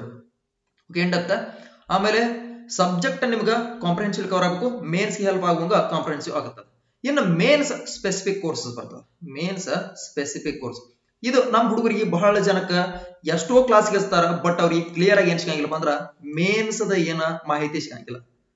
ಮೇನ್ಸ್ ಮಾಹಿತಿ ಸಿಗಂಗಿಲ್ಲ. ಎಷ್ಟೋ ಕ್ಲಾಸಸ್ ಏನದಾವ? ಅವರು ಎಲ್ಲ ಕ್ಲಾಸ್ ನಡೆಸ್ತಾರೆ. P C P S I K S ಎಲ್ಲ ಎಕ್ಸಾಮ್ ನಡೆಸ್ತಾರ. ಬಟ್ ಈ ಮೇನ್ಸ್ ಕೋರ್ಸ್ ನಡೆಯುದು ಬಹಳ ಬಹಳ ಕಡಿಮೆ. ಕೇವಲ ಬೆರಳ ಅನಿಕೆಯಷ್ಟೇ ಏನಪ್ಪಾ ಅಂದ್ರೆ ಕ್ಲಾಸಸ್ ಒಳಗೆ ಮಾತ್ರ ಈ ಮೇನ್ಸ್ ಸ್ಪೆಸಿಫಿಕ್ ಕೋರ್ಸ್ಗಳು ನಡೀತಾವ. ಯಾಕಂದ್ರ ಅಲ್ಲಿ ಅಂದ್ರ ಈ ಬರ್ದವ್ರು ಬೇಕಾಗ್ತಾರ ಎಕ್ಸ್ಪೀರಿಯನ್ಸ್ಡ್ ಇದ್ದವ್ರ ಹ್ಯಾಂಡ್ಗಳು ಬೇಕಾಗ್ತದ. ಅಲ್ಲಿ ಏನ್ ಮಾಡ್ತೀವಿ ನಾವು, ಯಾರು ಇಲ್ಲಿ ನಮ್ಮಲ್ಲಿ ಟಾಪ್ ಎಜುಕೇಟರ್ಸ್ ಅದಾರೋ, ಆ ಟಾಪ್ ಎಜುಕೇಟರ್ಸ್ ಏನ್ ಮಾಡ್ತಾರ ಅಂದ್ರ ಮೇನ್ಸ್ ಸ್ಪೆಸಿಫಿಕ್ ಕೋರ್ಸ್ ಗಳನ್ನ ಒಂದೊಂದಾಗಿ ಒಂದೊಂದಾಗಿ ತಿಳಿಸಿ ಕೊಡ್ತಾರೋ. ತಿಳ್ತಾ? ಎಲ್ ಅವ್ರ ಯಾರು ಹೇಳ್ತೇನ್ರಿ? ಏನಂತಿದ್ರಿ ಸಬ್ಸ್ಕ್ರಿಪ್ಷನ್ ಆಗ್ತಿಲ್ಲ ಕಂಟಿನ್ಯೂ ಬಟನ್ ವರ್ಕ್ ಆಗ್ತಿಲ್ವಾ? ಓಕೆ ಹಾ, ಹೇಳ್ತೇನ್ರಿ. V P L Hari S I will ನೀವು ಏನ್ ಮಾಡ್ಬೇಕು? ನಿಮ್ ಮೊಬೈಲ್ ನಂಬರ್ ಆಮೇಲೆ ಜಿಮೇಲ್ ಅಕೌಂಟ್ ಇದನ್ನ ಮಾಡ್ಬೇಕ್ರಿ ವಿ ಪಿ ಎಲ್ ಅವ್ರ ನೀವು ಕಮೆಂಟ್ ಮಾಡ್ತಾ ಇದ್ರಿ, ನೋಡ್ತಾ ಇದ್ದೀನಿ ನಾನು. ಓಕೆ ನೀವೇನ್ ಮಾಡ್ಬೇಕು? ಆ ಜಿಮೇಲ್ ಅಕೌಂಟ್ ವೆರಿಫಿಕೇಶನ್ ಆಗ್ಬೇಕು, ಆಮೇಲೆ ಮೊಬೈಲ್ ನಂಬರ್ ವೆರಿಫಿಕೇಶನ್ ಕೊಟ್ಟಿರ್ತೀರಿ ಅನ್ಕೋತೀನಿ ಮೊದಲೇ. ಅದನ್ನ ಮಾಡ್ರಿ ಅಂತಂದ್ರೆ ಬರ್ತದ್ರಿ ವರ್ಕ್ ಆಗ್ತದೆ. ವಿ ಪಿ ಎಲ್ ಅವ್ರ ಇಲ್ಲಾಂದ್ರೆ ನೀವು ನಾನು ಕಾಂಟ್ಯಾಕ್ಟ್ ಮಾಡ್ಬೋದು ನನ್ನ ನಂಬರ್ ಕಳಿಸ್ತೀನಿ.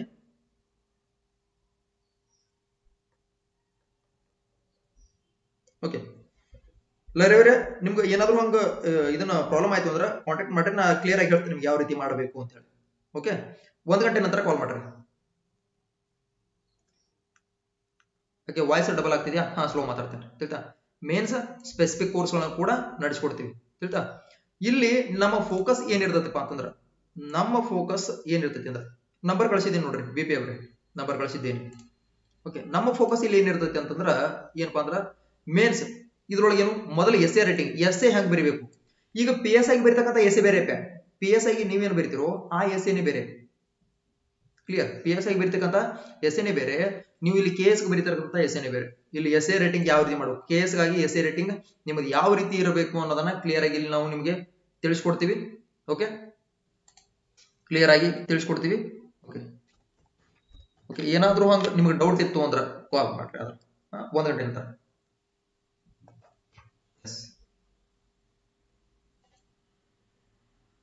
ಡನ್ ಅರ್ಥ ಆಯ್ತು ಅಂತ ಅನ್ಕೋತೀನಿ.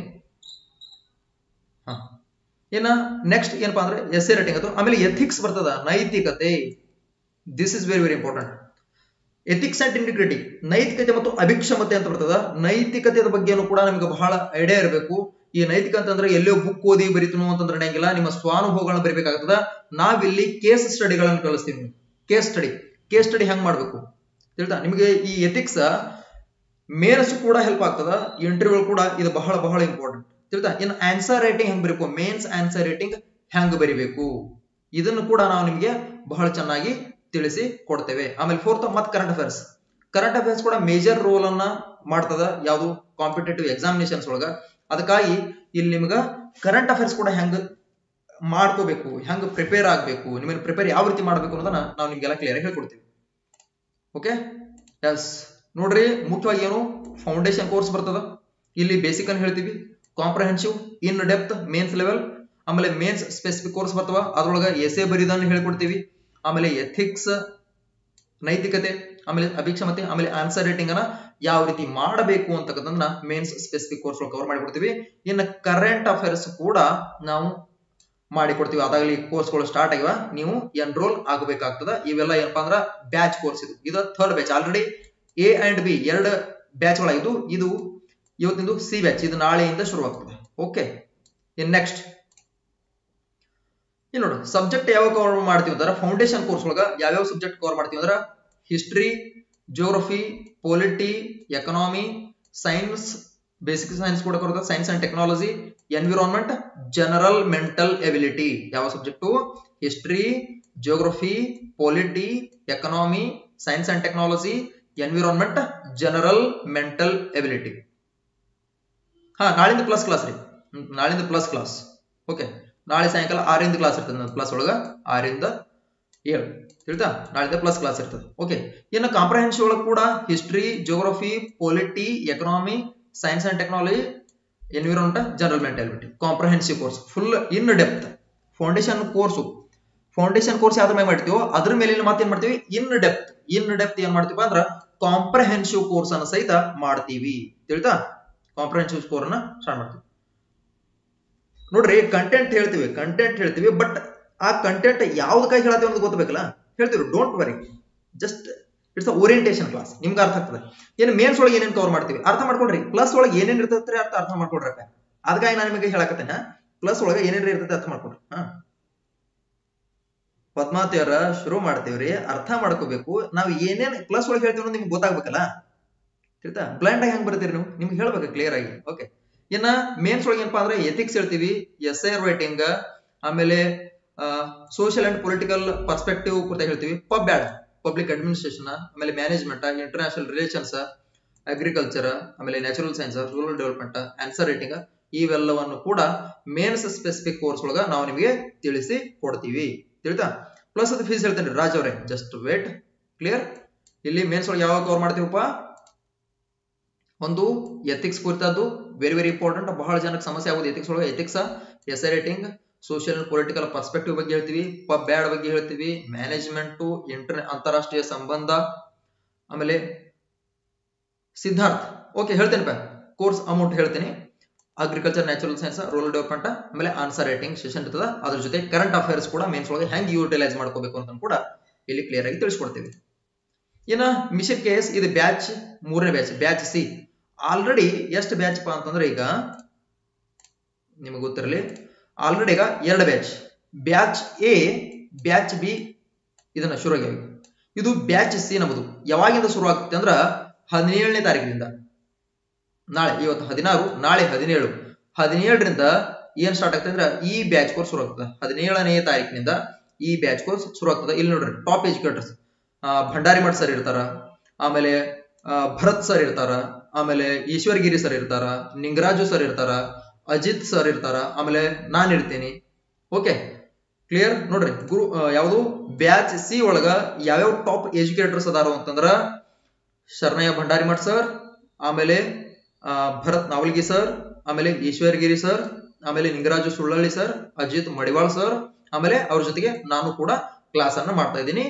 ಓಕೆ ಕ್ಲಿಯರ್ ಇದು full one year batch core for prelims and mains K S prelims and ಮೇನ್ಸ್ಗೆ ಕ್ಲಾಸ್ಗಳು ಇದು ಇರ್ತದ. ಫುಲ್ ಇದು ಮೂರನೇ ಬ್ಯಾಚ್ ಕೋರ್ಸ್ ಆಲ್ರೆಡಿ ಎರಡು ಬ್ಯಾಚ್ ಕೋರ್ಸ್ ಆಗಿ, ಆಗಿದಾವ ಈಗ. ತಿಳ್ತಾ ಬೋತ್ ಮೀಡಿಯಂ ಕನ್ನಡ ಮೀಡಿಯಂ ಇದು ನಮ್ಮದು ಕನ್ನಡ ಮೀಡಿಯಂ ಎ ಬಿ ಆಗಿದ್ದು ಅವು ಇಂಗ್ಲಿಷ್ ಮೀಡಿಯಂ ಮತ್ತು ಕನ್ನಡ ಮೀಡಿಯಂ ಕೂಡ ಅದಾವ. ನಾವೀಗ ಶುರು ಮಾಡಿದ್ದು ಏನಪ್ಪಾ ಅಂತಂದ್ರ ಈ ಕನ್ನಡ ಮೀಡಿಯಂ ಒಳಗ ಬ್ಯಾಚ್ ಸಿ ಅನ್ನ ನಾಳೆಯಿಂದ ಶುರು ಮಾಡ್ತೀವಿ. ಯಾರ ಎನ್ರೋಲ್ ಆಗಿಲ್ಲ, ಹೋಗಿ ಎನ್ರೋಲ್ ಆಗ್ರಿ. ಸಾಧ್ಯ ಆದ್ರ ಹೋಗಿ ಎನ್ರೋಲ್ ಆಗ್ರಿ. ಓಕೆ ನಿಮಗೆ ಹೆಲ್ಪ್ಫುಲ್ ಆಗ್ತದಪ್ಪ. ಅಮೌಂಟ್ ಏನ್ ಬಾಳಿಲ್ಲ ಅಮೌಂಟ್ ಏನ್ ಬಾಳಿಲ್ಲ ಅಮೌಂಟ್ ಕುರಿತಾಗಿ ಹೇಳ್ತೇನೆ ನಾನು. ತಿಳ್ತಾ? ನೀವೇನ್ ದಿವಸ ಚಾ ಕುಡಿತಿರಲ್ಲ ನೀವು ಚಾ ಕುಡಿತಕ್ಕಂಥ ಅಮೌಂಟ್ ಕೂಡ ಕಡಿಮೆ ಇರ್ತದೆ. ಅರ್ಥ ಮಾಡ್ಕೊಡ್ರಿ ನೀವೇನ್ ದಿವಸ ಏನ್ ಚಾ ಕುಡಿತಿರ್ಲಪ್ಪ? ಅಮೌಂಟ್ ಏನಾದ್ರು ಖರ್ಚು ಮಾಡ್ತಿಲ್ಲ ಚಾ ಕುಡಿಯಕ? ಅದಕ್ಕಿಂತನೂ ಕಡಿಮೆ ಫೀಸ್ ಇರ್ತದ. ಅದಕ್ಕಿಂತ ಕಡಿಮೆ ಫೀಸ್ ಒಳಗ ನೀವು ಏನ್ ಮಾಡ್ಬೋದು ಅಂತಂದ್ರ ಕಾಂಪ್ರಿಹೆನ್ಸಿವ್ ಕೋರ್ಸ್ ಅನ್ನು ಕಲಿತೀರಿ. ತಿಳಿತಾ ಕಾಂಪ್ರಹೆನ್ಸಿವ್ ಕೋರ್ಸ್ ಅನ್ನು ಕಲಿತೀರಿ ಫೌಂಡೇಶನ್ ಕೋರ್ಸ್ ಕಲಿತೀರಿ ಕರೆಂಟ್ ಅಫೇರ್ಸ್ ಕಲಿತೀರಿ, ಏನ್ ಬೇಕು ಏನಿಲ್ಲ, ಎಲ್ಲವನ್ನು ಕೂಡ ನೀವಲ್ಲಿ ಏನ್ ಮಾಡ್ತೀರಿ ಕಲಿತೀರಪ್ಪ ಕೊಟ್ರೆ. ಓಕೆ ಎಸ್ ಯಾರ್ಯಾರು ಸರ್ ಇರ್ತಾರ ಅಂತ ಹೇಳ್ತೀನಿ. ಒಂದು ಶರಣ ಭಂಡಾರ ಮಾಡ್ ಸರ್ ಇರ್ತಾರ, ಆಮೇಲೆ ಭರತ್ ಸರ್ ಇರ್ತಾರ, ಆಮೇಲೆ ಈಶ್ವರಗಿರಿ ಸರ್ ಇರ್ತದ, ನಿಂಗರಾಜು ಸರ್ ಇರ್ತಾರ, ಅಜಿತ್ ಸರ್ ಇರ್ತಾರ, ಜೊತೆಗೆ ನಾನ್ ಇರ್ತೀನಿ. ಎನ್ರೋಲ್ ಅಂತಂದ್ರ ಶಕುಂತಲಾ ಅವರ, ಅಲ್ಲಿ ನೀವು ಬ್ಯಾಚ್ ಕೋರ್ಸ್ ಮೇಲೆ ಹೋಗಿ ಎನ್ರೋಲ್ ಅಂತ ಒಂದು ಆಪ್ಷನ್ ಇರ್ತದ ಕ್ಲಿಕ್ ಮಾಡಿರ್ತಾರ, ಯಾವಾಗ ಸ್ಟಾರ್ಟ್ ಆಗ್ತದ ಅದರೆಲ್ಲರ ಮಾಹಿತಿ ನಿಮಗೆ ಸಿಗ್ತದ. ಓಕೆ ಎಸ್ ಇನ್ನ ಪ್ಲಸ್ ಇದು ಕೋರ್ಸ್ ಎಲ್ಲಿ ನಡೀತದ ಪ್ಲಸ್ ಒಳಗೆ ನಡೀತದೆ, ಗೊತ್ತಿರಲಿ. ಈಗ ನಾ ಏನ್ ಹೇಳೋ ಫೌಂಡೇಶನ್ ಕೋರ್ಸ್ ಕಾಂಪ್ರಹೆನ್ಸಿವ್ ಕೋರ್ಸ್ ಇದೆಲ್ಲ ಪ್ಲಸ್ ಒಳಗೆ ನಡೀತದ. ತಿಳಿತಾ? ಸ್ಪೆಷಲ್ ಒಳಗೆ ಇರಂಗಿಲ್ಲ ಪ್ಲಸ್ ಒಳಗೆ ಇರ್ತದ. ಯಾವ ರೀತಿ ಪ್ಲಸ್ ಅನ್ನ ತಗೋಬೇಕು? ಓಕೆ ಪ್ಲಸ್ ಅನ್ನ ಯಾವ ರೀತಿ ತಗೋಬೇಕು? ಪ್ಲಸ್ ತಗೊಂಡ್ರೆ ಉಪಯೋಗ ಏನೈತಿ ಅಂತ ಹೇಳ್ತಾನೆ ಮೊದಲು. ನೀವು ಪ್ಲಸ್ ತಗೊಂಡಿರ್ತದ್ರ ಉಪಯೋಗ ಏನೈತಿ? ಎನಿ ಟೈಮ್ ಕಲಿಬಹುದು ಲರ್ನ್ ಎನಿ ಟೈಮ್ ಎನಿವೇರ್ ನಿಮ್ಮ ಮೊಬೈಲ್ನಾಗ ಡಾಟಾ ಇತ್ತು ಅಂದ್ರೆ ಎಲ್ಲಿ ಬೇಕಾದಲ್ಲಿ ಕೂತ್ಕೊಂಡ ಕಲಿಬಹುದು ಎನಿ ಟೈಮ್ ಎನಿವೇರ್ ಆಮೇಲೆ ನಿಮ್ಮ ಟೀಚರ್ಸ್ ಏನ್ ನಿಮ್ಗೆ ಟೀಚ್ ಮಾಡ್ತಾರೋ ಅವ್ರಿಗೆ ಏನ ಡೌಟ್ ಇದ್ರು ಕೇಳ್ಬೋದು ನೀವು. ಇಂಟ್ರಾಕ್ಟ್ ವಿತ್ ಯುವರ್ ಎಜುಕೇಟರ್ ಪ್ರತಿ ಎರಡ್, ಮೂರ್ ಕ್ಲಾಸ್ ಆದ್ಮೇಲೆ, ಪ್ರತಿ ಮೂರ್ ಕ್ಲಾಸ್ ಆದ್ಮೇಲೆ ಒಂದ್ ಏನಿರ್ತೈತಿ ಅಂತಂದ್ರ ಡೌಟ್ ಡೆಮಾಲಿಷಿಂಗ್ ಸೆಷನ್ ಇರ್ತೈತ. ಡೌಟ್ ಡೆಮಾಲಿಷಿಂಗ್ ಸೆಷನ್ ಈ ಮೂರು ಕ್ಲಾಸ್ ಒಳಗೆ ನಿಮ್ಗೆ ಏನೋ ಡೌಟ್ ಇದ್ರು ಕೂಡ ನೀವು ಅಲ್ಲಿ ತಿಳ್ಕೊಬಹುದು ಪ್ಲಸ್ ಕ್ಲಾಸ್ ಅನುಕೂಲಗಳು ಹೇಳಾಕತ್ತೇನೆ. ಪ್ಲಸ್ ಕ್ಲಾಸ್ ತಗೊಂಡ್ರೆ ಅಂದ್ರೆ ನಿಮ್ಗೆ ಏನ್ ಅನುಕೂಲ ಐತಿ ಅನ್ನೋದು ಹಾಕತ್ತೇನೆ ಇಲ್ಲೇನು? ನೀವು ಮೂರು. ಎಷ್ಟಪ್ಪ ಅಂತಂದ್ರ ಮೂರ್ ಕ್ಲಾಸ್ ಆದ್ಮೇಲೆ ಡೌಟ್ ಡೆಮಾಲಿಷಿಂಗ್ ಸೆಷನ್ ಅಂತ ಹೇಳಿ ಇರ್ತದ. ಈ ಮೂರು ಕ್ಲಾಸ್ ಒಳಗೆ ನಿಮ್ಗೆ ಏನಾದ್ರು ಡೌಟ್ ಉಳ್ಕೊಂಡಿತ್ತು ಅಂದ್ರ ನೀವೇನ್ ಮಾಡ್ಬೋದು? ಪ್ರಶ್ನೆ ಕೇಳ್ಬೋದು. ಡೌಟ್ ಡೆಮಾಲಿಷನ್ ಸೆಷನ್ ಆದ್ಮೇಲೆ ನಿಮ್ಗೆ ಮರ್ದಿನ ಇರ್ತದ ಕ್ವಿಜ್ ಸೆಷನ್ ಇರ್ತದ. ಅದ್ರ ಮೇಲೆ ಕ್ವಿಜ್ ತಗೊಳ್ಳೋಗ್ತದ ನಿಮ್ಗೆ ಗೊತ್ತಾಗ್ಬಿಡ್ತದ. ಈ ಮೂರ್ ಕ್ಲಾಸ್ ಕಲತೆ ಡೌಟ್ ಕ್ಲಿಯರ್ ಮಾಡ್ಕೊಂಡೆ ಮತ್ ನಾ ಯಾವ ಮಟ್ಟಕ್ಕೆ ಓದ್ತಾ ಇದ್ದೀನಿ ಕ್ವಿಜ್ ಒಳಗೆ ನಿಮ್ಗೆ ಕ್ಲಿಯರ್ ಆಗಿರ್ತದೆ. ಹಾ ಎಸ್ ಪೇಪರ್ ಸಾಲ್ವ್ ಮಾಡ್ತೀವಿ. ಪದ್ಮಾವತಿ ಪೇಪರ್ ಸಾಲ್ವ್ ಮಾಡ್ಲಾಗ್ತದೆ. ಓಕೆ ಪೇಪರ್ ಅನ್ನು ಕೂಡ ಸಾಲ್ವ್ ಮಾಡ್ತೀವಿ. ನಿಮ್ಗೆ ಏನೋ ಡೌಟ್ ಇದ್ರೂ ಕ್ಲಾರಿಫೈ ಮಾಡ್ತಾ ಹೋಗ್ತೀವಿ. ಎಸ್ ಓಕೆ ಪ್ರತಿ ಮೂರ್ ಕ್ಲಾಸ್ ಮೇಲೆ ಒಂದು ಡೌಟ್ ಡೆಮೋಲಿಂಗ್ ಸೆಷನ್ ಆಮೇಲೆ ಒಂದು ಕ್ವಿಜ್ ಇರ್ತದ. ನಿಮ್ಗೆ ಅಲ್ಲೇ ರಿಸಲ್ಟ್ ಗೊತ್ತಾಗ್ತದೆ. ನೀವು ಯಾವ ಮಟ್ಟಕ್ಕೆ ಓದ್ಲಿಕ್ಕೆ ಅಂತ ಹೇಳಿ. ಇನ್ ನೆಕ್ಸ್ಟ್ ಏನ ನಿಮ್ ಡೌಟ್ ಏನಾದ್ರು ಕ್ಲಿಯರ್ ಮಾಡ್ಬೋದು. ಲೈವ್ ಟೆಸ್ಟ್ ನಡೆಸ್ತೀವಿ.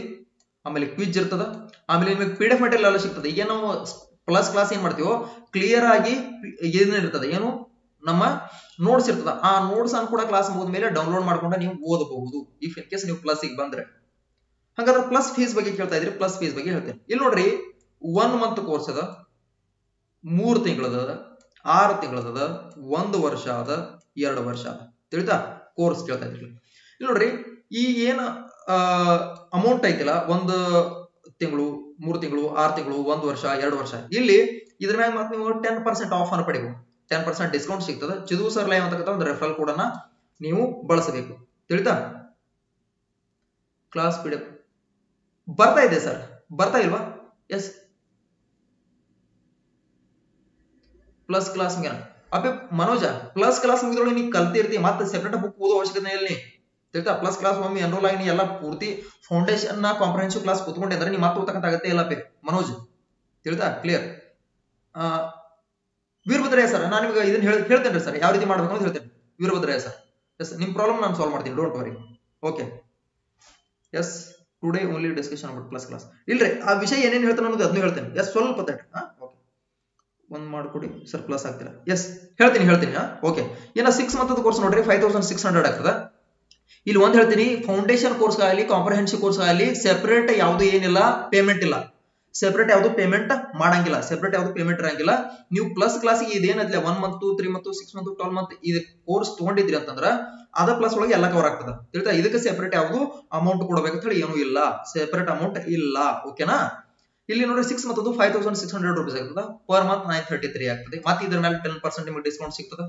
ಆಮೇಲೆ ಒಂದು ವರ್ಷದ್ದು ಏಳು ಸಾವಿರ ರೂಪಾಯಿ ಆಗ್ತದ. ತಿಳಿತಾ ಫೈವ್ ಏಟಿ ಪರ್ ಮಂತ್ ಅಂದ್ರ ಒಂದ್ ದಿವ್ಸಕ್ಕೆ ಹದಿನೆಂಟು ರೂಪಾಯಿ ವೇ ಮಾಡ್ದಂಗ ಆಗ್ತದ. ಆಮೇಲೆ ಎರಡು ವರ್ಷದ ನೀವು ತಗೊಂಡ್ರಿ ಅಂತಂದ್ರ ಟುಡೇ ಕ್ಲಾಸ್ ಐತ್ರಿ ಟುಡೇ ಕ್ಲಾಸ್ ಐತಿ ಡೋಂಟ್ ವರಿ ಆಮೇಲೆ ತ್ರೀ ಫಿಫ್ಟಿ ಪರ್ ಮಂತ್ ಆಗ್ತದೆ. ಅಂದ್ರೆ ಡೈಲಿ ಏನ್ ನೀವು ಚಹಾ ಕುಡ್ತಿರ್ಲಕ್ಕ ಡೈಲಿ ಏನ್ ಖರ್ಚು ಮಾಡ್ತಿರ್ಲಿಲ್ಲ, ಅದಕ್ಕಿಂತನೂ ಎಷ್ಟೋ ಕಡಿಮೆ ಆಗ್ತದೆ. ತಿಳ್ತಾ? ಅದಕ್ಕಿಂತನೂ ಎಷ್ಟೋ ಕಡಿಮೆ ಆಗ್ತದೆ. ಡೋಂಟ್ ವರಿ ಗಾಯ್ಸ್ ನಾನು ಕ್ಲಾಸ್ ತಗೊಳ್ತೀನಿ, ಹಾ? ಓಕೆ ಯಾಕಪ್ಪ ಬೇಜಾರಾಗ್ತೀರಿ? ಡನ್ ಆಮೇಲೆ ಸಬ್ಸ್ಕ್ರಿಪ್ಷನ್ ತಗೊಳ್ಳೋದು ಹೆಂಗ? ಸಿಂಪಲ್ ಅದ. ಏನ್ ಮಾಡ್ಬೇಕು? Unacademy learning app download ಮಾಡ್ಕೋಬೇಕು. Unacademy learning app download ಮಾಡ್ಕೊಂಡ್ಮೇಲೆ ಇಲ್ಲಿ ಸರ್ಚ್ ಮಾಡಬೇಕು ಕರ್ನಾಟಕ ಪಿ ಎಸ್ ಅಂತ ಹೇಳಿ Karnataka P S C search ಮಾಡ್ಕೊಳ್ಳಿ ಗೆಟ್ ಸಬ್ಸ್ಕ್ರಿಪ್ಷನ್ ಅಂತ ಹೇಳಿ ಒಂದು ಆಪ್ಷನ್ ಬರ್ತದೆ. ಇದ್ರ ಮೇಲೆ ನೀವು ಕ್ಲಿಕ್ ಕೊಟ್ರಿ ಅಂತಂದಾಗ ಇಲ್ಲಿ one month three month six month twelve month twenty four month ಇದ್ರೊಳಗೆ ನೀವು ಯಾವುದೇ ಕೋರ್ಸ್ ಅನ್ನ ತಗೊಂಡ್ರು ಕೂಡ ಈ ಫೌಂಡೇಶನ್ ಕೋರ್ಸ್ ಆಮೇಲೆ ಸ್ಪೆಷಲ್ ಫೌಂಡೇಶನ್ ಕೋರ್ಸ್ ಮತ್ತು ಕಾಂಪ್ರಹೆನ್ಸಿವ್ ಕ್ಲಾಸ್ಗೆ ನೀವು ಅಟೆಂಡ್ ಆಗಬಹುದು ಅಟೆಂಡ್ ಆಗ್ರಿ, ಕಿಚ್ಚ ಸಂತೋರ ಅಟೆಂಡ್ ಆಗ್ರಿ, ನಿಮ್ಗೆ ಗೊತ್ತಾಗ್ತದೆ. ಏನೋ ಒಂದು ಇದನ್ನೈತೆ ತಿಳಿತಾ ಎನ್ರೋಲ್ ಆಗ್ರಿ ಇನ್ ಏನ್ ಮಾಡ್ಬೇಕು? ಇಲ್ಲಿ ರೆಫಲ್ ಕೊಡ. ನನ್ನ ರೆಫಲ್ ಕೊಡದ ಚಿದು ಸರ್ ಲೈವ್ ಅಂತ ಹೇಳಿ. ಚಿದು ಸರ್ ಲೈವ್ ಇದು ನನ್ನ ರೆಫಲ್ ಕೊಡ. ಚಿದು ಸರ್ ಲೈವ್ ಇದು ನನ್ನ ರೆಫಲ್ ಕೋಡ್ ಆಗಿರ್ತದೆ. ಇಲ್ಲಿ ನೋಡ್ರಿ. One month one two six zero ಆಮೇಲೆ ಆಮೇಲೆ ತ್ರೀ ಮತ್ತದು ಒನ್ ತೌಸಂಡ್ ಫಿಫ್ಟಿ ಇರ್ತದ. ಆಮೇಲೆ ಸಿಕ್ಸ್ ಮತ್ತದು ಏಟ್ ಈ ರೀತಿ ಫೀಸ್ಗಳೆಲ್ಲ ಇರ್ತಾವ. ಅಕಸ್ಮಾತ್ ನೀವು ಒಂದು ವರ್ಷ ತಗೊಂಡ್ರಿ ಅಂತಂದ್ರೆ ಕಡಿಮೆ ಆಗ್ತದೆ.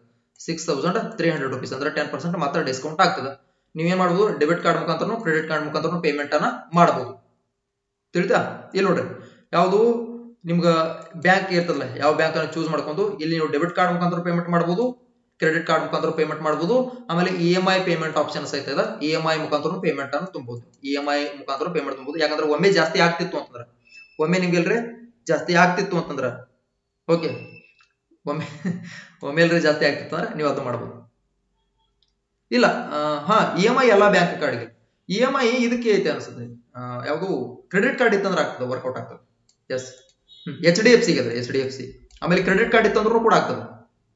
ಡನ್ ಆಮೇಲೆ ಕೀ ಫೀಚರ್ಸ್ ನಿಮ್ಗೆ ಗೊತ್ತದ? ಆರಾಮ್ಸೆ ನಿಮ್ಮ ಮನೆಯಿಂದ ಕೂತು ಕಲಿಬಹುದು ಏನು ಸಮಸ್ಯೆ ಇಲ್ಲ. ಹೇಳಿದೀನಿ ಪರ್ ಡೇ ಎಷ್ಟು ಹದಿನೆಂಟು ರೂಪಾಯಿ. ನೀವೇನೋ ಡೈಲಿ ಖರ್ಚು ಮಾಡ್ತಿರಲ್ಲ ಸಾಮಾನ್ಯ ಖರ್ಚು ಅದಕ್ಕಿಂತ ಕಡಿಮೆ.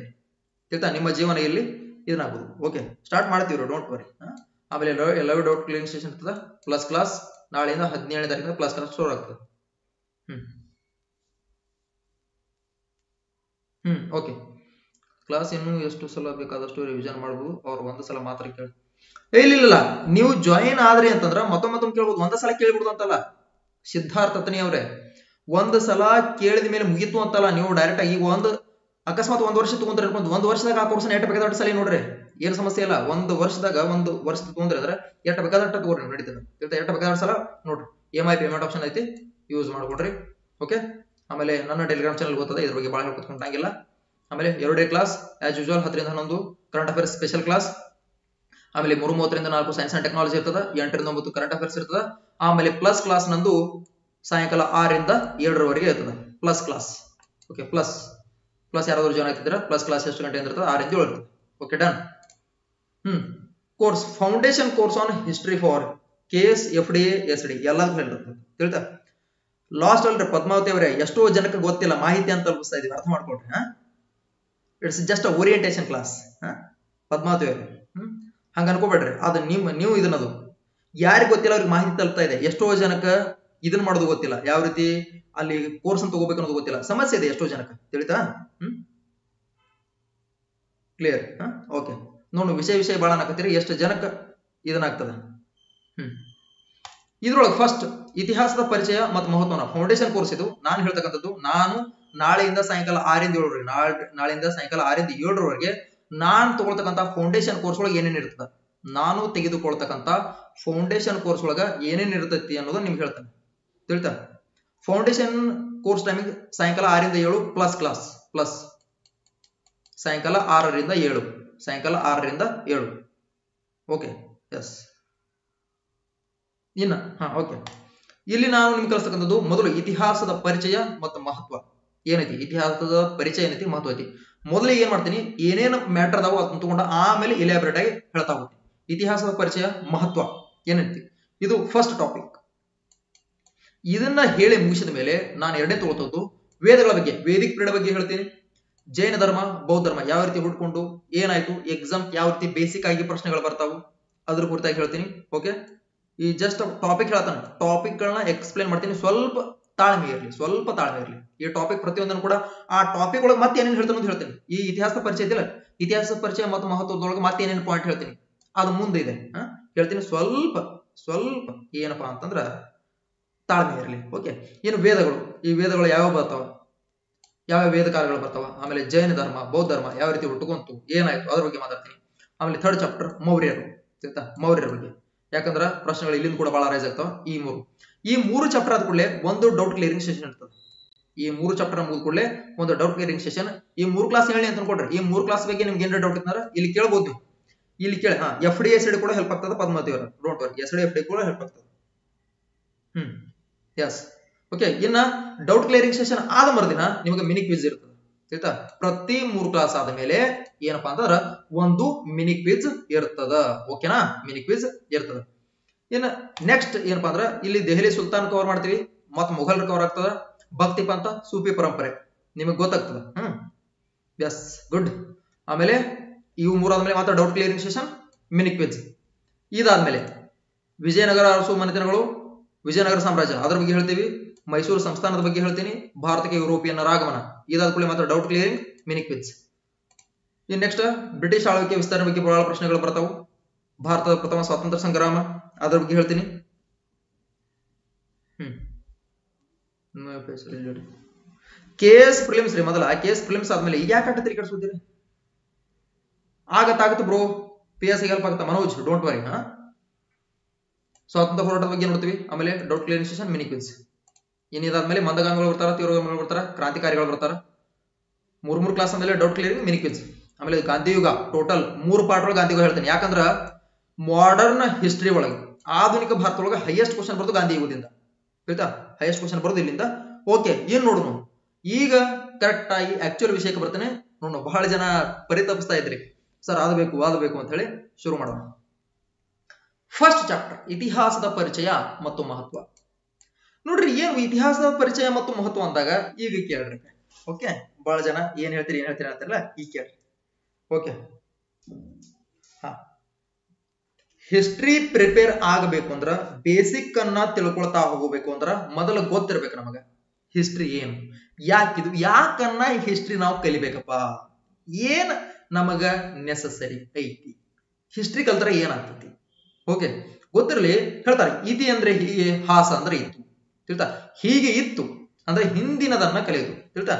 ಈಗ ಒಂದು ಕ್ಷಣ ಕಳೆದು ಹೋದ್ರೆ ಅದು ಇತಿಹಾಸನೇ. ತಿಳ್ತಾ? ಹಿಂದಿನದನ್ನ ಯಾಕ ಇತಿಹಾಸ ಯಾಕೆ ಕಲಿಬೇಕಪ್ಪ ಅಂತಂದ್ರ, ಒಂದು, ಏನಾದ್ರೂ ತಪ್ಪ ಆಗಿತ್ತವ? ಹಿಂದೆ ಇತಿಹಾಸ ನಾವೇನೋ ಒಂದು ಕ್ಷಣ ಹೋಯ್ತೀಗ. ಈ ನಿನ್ನೆ ನಿನ್ನೆ ದಿನ ಹೋಯ್ತಪ್ಪ. ನಿನ್ನೆ ದಿನ ಒಂದು ಇತಿಹಾಸನೇ ಅದು.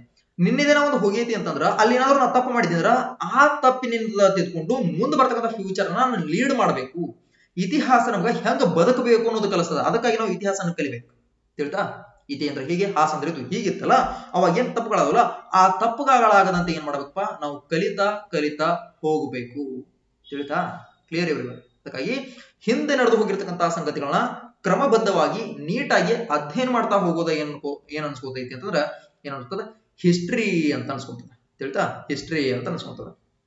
ಕ್ಲಿಯರ್ ಅಕಸ್ಮಾತ್ ಅವಾಗ ಏನಾದ್ರು ತಪ್ಪುಗಳಾಗಿದ್ದು ಅಂದ್ರೆ ಆ ತಪ್ಪುಗಳ ಆಗದಂತೆ, ಆ ತಪ್ಪುಗಳು ಮರುಕಳಿಸದಂತೆ ನಾವು ಮುಂದುವರಿಬೇಕು ಅಂತಂದ್ರೆ ಇತಿಹಾಸ ನಮ್ಗೆ ಅದನ್ನೂ ಕೂಡ ಕಲಿಸ್ಕೊಡ್ತದ. ಎಷ್ಟೋ ತಪ್ಪುಗಳಾಗ್ಯಾವ ನಮಗೆ. ಇತಿಹಾಸದೊಳಗ ಪೂರ್ವಜರಿಂದ ಅದೆಷ್ಟೋ ತಪ್ಪುಗಳಾದವು, ಆ ತಪ್ಪಿನಿಂದ ನಾವು ಅನುಭವಿಸಿದ್ವಿ, ಅದರಿಂದ ಕಲಿತ್ವಿ, ಈಗ ಒಂದು ಸರಿಯಾದ ಹಾದಿ ಒಳಗ ಹೊರಟಿದ್ದೀವಿ.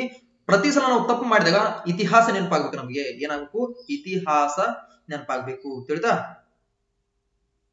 ಓಕೆ ಎಸ್, ಇತಿಹಾಸ ನೆನಪಾಗಬೇಕು. ತಿಳಿದ ಹಿಂದೆ ನಮ್ಮ ಪೂರ್ವಜರು ಯಾವ ರೀತಿ ಹಾದಿಯಿಂದ ನಡೆದು ಬಂದ್ರು ಅದರ ಮುಂದಿನ ಪೀಳಿಗೆಯ ಪರಿಚಯಿಸಬೇಕು. ಯಾಕೆ ಪರಿಚಯಿಸಬೇಕು ಅಂತಂದ್ರ, ಅವ್ರು ಕೂಡ ತಿಳ್ಕೋಬೇಕು, ಎಸ್, ನನ್ನ ಇತಿಹಾಸ ಹೇಗಿತ್ತು ಹೇಳ್ತಾರ ಇತಿಹಾಸ ಗೊತ್ತಿರದವನು ಇತಿಹಾಸ ಸೃಷ್ಟಿಸಲಾರ. ಇತಿಹಾಸ ಗೊತ್ತಿರದವನು ಏನ್ ಮಾಡಕ್ ಸಾಧ್ಯ ಇಲ್ಲ? ಇತಿಹಾಸವನ್ನು ಸೃಷ್ಟಿಸುವುದಕ್ಕೆ ಇವತ್ತು ಕೂಡ ಸಾಧ್ಯ ಇಲ್ಲ. ಕ್ಲಿಯರ್ ಹಂಗ, ನಾವು ಮುಂದ್ ಆಗಬೇಕು, ಇಂಥದ್ ಆಗ್ಬೇಕು ಅಂತಂದಾಗ ಹಿಂದಿನ ದಿನಗಳಿಂದ ಕಲಿಬೇಕು. ಅದಕ್ಕ ಇತಿಹಾಸ ಬಹಳ ಬಹಳ ಬಹಳ ಬಹಳ ಇಂಪಾರ್ಟೆಂಟ್ ಅನ್ಸ್ಕೊಳ್ತದ ಇಂಪಾರ್ಟೆಂಟ್ ಅನ್ಸ್ಕೊಳ್ತದ. ಕ್ಲಿಯರ್ ಎಸ್ ಎಫ್ಡಿ ಹೇಳ್ತಾರೆ ಶೇಖರ್ ಅವ್ರು ಅದನ್ನೇ ಹೇಳಾಕತ್ತೀನಿ. ಕೇಳ್ರಿ, ಕೇಳ್ತಾ ಹೋಗಿ ನಿಮ್ಗೆ ಗೊತ್ತಾಗ್ತದೆ, ಏನೇನು ಓದಬೇಕು, ಏನೇನು ಬಿಡಬೇಕು ಅನ್ನೋದು ನಿಮ್ಗೆ ಗೊತ್ತಾಗ್ತದೆ ಇಲ್ಲಿ. ಓಕೆ ಇನ್ನ ನಾವು ಬಹಳ ಇತಿಹಾಸದ ಕೂಡ ಸೋತಿದ್ದೀವಿ ತಿಳ್ತಾ? ಆ ಸೋಲು, ಆ ಗೆಲುವು ನಮ್ಮನ್ನ ಏನ್ ಮಾಡ್ತದಪ್ಪ ಅಂದ್ರೆ ಒಬ್ಬ ಪರ್ಫೆಕ್ಟ್ ವ್ಯಕ್ತಿಯನ್ನ ಮಾಡ್ತದೆ. ಪರ್ಫೆಕ್ಟ್ ವ್ಯಕ್ತಿ ಏನ್ ಮಾಡ್ತದ? ಆಯ್ತಾ ಇತಿಹಾಸದ ಬಗ್ಗೆ ತಿಳ್ಕೊಂಡಾಗ ಈ ಇತಿಹಾಸ ಹಿಂಗೆ ಮರುಕಳಿಸಿತ್ತು?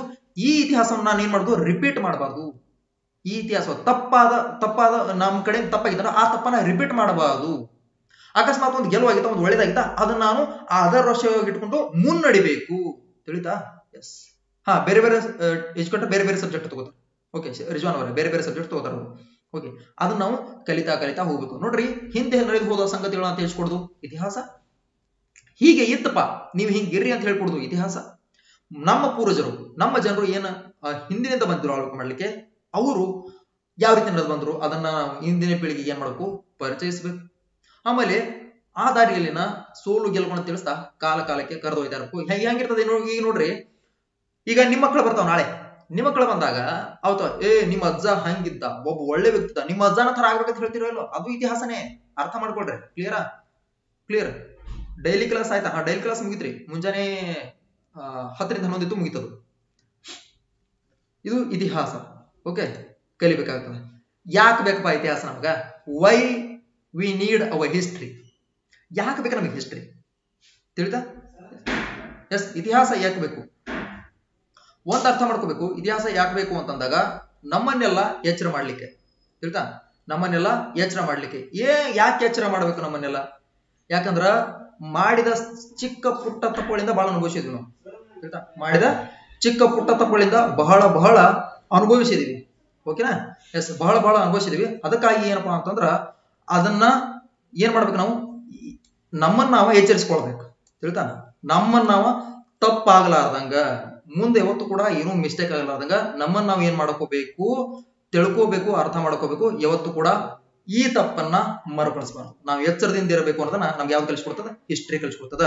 To correct our mistakes Harshitha ಅವ್ರು very good very good new generation should know about old generation yes hundred percent ಅರ್ಥ ಮಾಡ್ಕೋಬೇಕು. ಹಂಡ್ರೆಡ್ ಪರ್ಸೆಂಟ್ ಅರ್ಥ ಮಾಡ್ಕೋಬೇಕು. ಮನ್ಯಾಗ ಒಬ್ರು ಹಿರಿಯರ್ ಇರ್ಬೇಕಂತ ಹೇಳ್ತಾರೆ. ಯಾಕಂದ್ರೆ ಅವ್ರು ಹಿರಿಯರು ಕಲಿಸ್ಕೊಡ್ತಾರೆ. ಆ ಹಿರಿಯರ್ ಏನ್ ಮಾಡ್ತಾರ? ಕಲಿಸ್ಕೊಡ್ತಾರೆ. ಏನ್ ಕಲಿಸ್ಕೊಡ್ತಾರ ಅಂತಂದ್ರೆ ಹೆಂಗಿರ್ಬೇಕು ಮಗಾನಿ ಅಂತ ಹೇಳಿ ಏನ್ ಮಾಡ್ತಾರ ಅವರು? ಕಲಿಸ್ಕೊಡ್ತಾರೆ. ಓಕೆ ಹೇಳ್ತಾ, ಅದಕ್ಕೆ ಮನ್ಯಾಗ ಒಬ್ರು ಹಿರಿಯರ್ ಅವ್ರು ಹೇಳ್ತಿರ್ತಾರೆ, ನಾವು ಮಹಾತ್ಮ ಗಾಂಧೀಜಿ ಅವ್ರ ಕಾಲೊಳಗಿದ್ದೆ ನಾ ಅವ್ರ ಜೊತೆ ವರ್ಕ್ ಮಾಡಿದ್ದೆ, ಅವ್ರ ಜೊತೆ ತೆಗೆದುಕೊಂಡು ನಾನು ಹೋರಾಡಿದ್ದೆ ಅಂತ ಹೇಳ್ತಿರ್ತಾರೆ. ಅಂತವೆಲ್ಲ ನಮಗೆ ಇನ್ಸ್ಪಿರೇಷನ್ ತಿಳ್ತಾ? ನಮ್ಮನ್ನೆಲ್ಲ ಎಚ್ಚರಿಸಲಿಕ್ಕಾಗಿ ನಮ್ಮನ್ನ ಏನ ತಪ್ಪುಗಳನ್ನ ಮತ್ತೊಮ್ಮೆ ಮಾಡ್ಲಾರದಂತೆ ಹೇಳಲಿಕ್ಕೆ ಏನ್ ಬರ್ತದ? ಈ ಇತಿಹಾಸ ನಮ್ಗೆ ಬಹಳ ಬಹಳ ಇಂಪಾರ್ಟೆಂಟ್ ಇರ್ತದ. ತಪ್ಪುಗಳನ್ನ ಮರಿಕಳಿಸದಂತೆ. ಇನ್ನು ನಮ್ಮ ನಮ್ಮ ಪೂರ್ವಿಕರು ಯಾವ ತತ್ವಗಳನ್ನ ಒಳಗೊಂಡಿದ್ರು, ಯಾವ ಎಲ್ಲ ಆದರ್ಶಗಳಿತ್ತು, ಯಾವ ಆದರ್ಶಗಳಿಂದ ಹೆಂಗ್ ಅವ್ರು ಬೆಳೆದು ಬಂದ್ರು ಅಂತಕ್ಕಂಥದ್ದನ್ನ ತಿಳಿಸ್ಕೊಡ್ತ. ಅವ್ರ ವಿಚಾರಧಾರಿಗಳು ಮುಂದಿನ ಜೀವನಕ್ಕೆ ಅಬಡೆಪಾಯ ಅವರ ಎಲ್ಲ ಒಂದು ಅಜ್ಜ, ಅಜ್ಜಿ ಇರ್ಬೇಕ್ರ ಮನ್ಯಾಗ. ಕ್ಲಿಯರಾ ಆಯ್ತಾ ಅವ್ರ ಏನ್ ಒಂದು ಆದರ್ಶ ಇತ್ತಲ್ಲ ಆ ಆದರ್ಶ ನಮ್ಗೆಲ್ಲ ಮಾದರಿ ಅವ್ರ ಆದರ್ಶಗಳು ಮುಂದೆ ನಡೆದಿವಿ ಅಂತಂದ್ರ ಒಬ್ಬ ಒಳ್ಳೆಯ ಏನಾಗ್ತೀವಿ ನಾವು ಒಬ್ಬ ಒಳ್ಳೆಯ ವ್ಯಕ್ತಿ ಆಗ್ತೀವಿ. ಅರ್ಥ ಆಗ್ತದ? ಎಸ್ ಪೂರ್ವಿಕ ತತ್ವಾದರ್ಶ, ವಿಚಾರಧಾರೆ, ಪರಾಕ್ರಮ, ತ್ಯಾಗ, ಬಲಿದಾನಗಳ ಕುರಿತಾಗಿ ಸಂಪೂರ್ಣ ಅರಿವು ಎಷ್ಟು ಜನ ತ್ಯಾಗ ಮಾಡ್ರು ನೋಡ್ರಿ, ಖುದಿರಾಮ್ ಬೋಸ್ ಎಲ್ಲರಿಗಿಂತ ಸಣ್ಣವ್ರಿ ಎಲ್ಲರಿಗಿಂತ ಅತ್ಯಂತ ಚಿಕ್ಕ ವ್ಯಕ್ತಿ. ಗೆಲಿಗೆ ಭಗತ್ ಸಿಂಗ್, ಚಂದ್ರಶೇಖರ್ ಆಜಾದ್, ಯಾವತ್ತು ಕೂಡ ನಾನೇನು ನಾ ಇವತ್ತು ಕೂಡ ಸ್ವತಂತ್ರರಾಗಿರ್ಬೇಕು. ಇವತ್ತು ಕೂಡ ಸ್ವತಂತ್ರ ಆಗಿರ್ಬೇಕು ನಾ ದಾಶದಾಗ ಬದುಕಬಾರ್ದು ಅಂತ ಹೇಳಿ ಅವ್ರ ಕೈಯಾಗ ಸಿಗಲ್ತಾನ? ಹೋಗ್ಬಿಟ್ರು. ಆಜಾದ್. ಇನ್ಕಿಲಾಬ್ ಜಿಂದಾಬಾದ್ ಕೊಟ್ಟ ಆ ಒಂದು ಯಾವ್ದಕ್ಕ ಈ ನೇನ ನೇನು ಕುಳಿಕೆ ಇರ್ತಾನೆ, ನೇನು ಕುರಿಗೆ ಮುತ್ತು ಕೊಟ್ಟ ಏನ್ ಮಾಡ್ತಾರಪ್ಪ ಅಂತಂದ್ರ ನೇನಿಗೆ ಇರ್ತಾರೆ ಭಗತ್ ಸಿಂಗ್ ಹೇಳ್ತಾರ ಏನ್ ಹೇಳ್ತಾರಂದ್ರ, ಅವ್ರ ಮನೆಯಿಂದ ಲೆಟರ್ ಬರ್ತದಂತ. ಭಗತ್ ಸಿಂಗ್ ಅವ್ರಿಗೆ, ಅವ್ರ ಮನೆಯಿಂದ ಲೆಟರ್ ಬರ್ತದ? ನೋಡಪ್ಪ, ನಿನ್ನ ಮದುವೆ ಮಾಡೋದೈತಿ ಬಾ ಅಂತ ಹೇಳಿ. ಅವ್ರು ವಾಪಸ್ ಲೆಟರ್ ಬರ್ತಾರೆ, ಏನ್ ಹೇಳ್ತಾರಪ್ಪ ಅಂದ್ರ, ನನ್ನ ಮದುವೆ ಅಂತಂದ್ರ ಅದು ಮೃತ್ಯುವಿನ ಜೊತೆ ಅಂತ ಹೇಳ್ತಾರ. ಹೆಂಗ್ ಹೇಳ್ತಾರ? ನನ್ನ ಮದುವೆ ಯಾವ್ದ್ರ ಜೊತೆ? ಮೃತ್ಯುವಿನ ಜೊತೆ. ನನ್ನ ಮದುವೆ ಸಾವಿನ ಜೊತೆ. ನನ್ನ ಸಾವಿನ ಮೆರವಣಿಗೆ ನನ್ನ ಮದುವೆ ಮೆರವಣಿಗೆ ಅಂತ ಹೇಳ್ತಾರ ಭಗತ್ ಸಿಂಗ್. ಅಂತ ಮಾತ್ರ ನನ್ನ ಯಾವುದು? ನನ್ನ ಸಾವಿ ನನ್ನ ಮದುವೆ ಮೆರವಣಿಗೆ ಅನ್ನೋದೇನು ಅದು ಸಾವಿನ ಮೆರವಣಿಗೆ. ನನ್ನ ಸಾವಿನ ಮೆರವಣಿಗೆ, ನನ್ನ ಮೆದು, ಮದುವೆ ಮೆರವಣಿಗೆ. ನಾ ಮದುವೆ ಆಗಿದೆ ಯಾವುದನ್ನ? ಮೃತ್ಯು ಅನ್ನ ಅಂತ ಹೇಳ್ತಾರೆ. ವಿಚಾರ ಮಾಡಿ. ಎಂತೆಂಥವ್ರಲ್ಲ, ಎಂತೆಂಥ ತ್ಯಾಗ, ಎಂತೆಂಥ ಬಲಿದಾನ. ಇರ್ತಾ ಎಷ್ಟೋ ಜನ ಅವರು. ಇರ್ತಾ ನಾವು ಕೆಲವರ ಹೆಸರನ್ನು ಮಾತ್ರ ತಗೊಂಡ್ಬಿಡ್ತೀವಿ. ನೋಡ್ರಿ, ಭಗತ್ ಸಿಂಗ ಆಜಾದ, ಆಮೇಲೆ ಮತ್ತ ಅವಂತಿಬಾಯಿ ದುರ್ಗಾಬಾಯಿ ಅಂತ ಬರ್ತಾರ. ಆಮೇಲೆ ಶಕುಂತಲಾ ಕುರ್ತಕೋಟೆ ಅಂತ ಬರ್ತಾರ, ಶಂಕರ ಕುರ್ತಕೋಟೆ ಅಂತ ಬರ್ತಾರ, ಅರುಣಾಸ ಫಲಿ ಅಂತ ಬರ್ತಾರ, ಚಂದ್ರಶೇಖರ್ ಆಜಾದ್ ಬರ್ತಾರ, ಇವರು ಭಗತ್ ಸಿಂಗ್ ಬರ್ತಾರ, ಸುಖದೇವ್ ಬರ್ತಾರ, ಆಮೇಲೆ ಕುದರಾಮ್ ಬೋಸ್ ಅವರು ಬರ್ತಾರ, ತಿಳ್ತಾ ರಾಜಗುರು ಬರ್ತಾರ, ತಿಳ್ತಾ ಚಾಪೇಕರ್ ಸಹೋದರರು ಬರ್ತಾರ, ತಿಳ್ತಾ ಮಂಗಲ್ ಪಾಂಡೆ ಅವರು ಬರ್ತಾರ.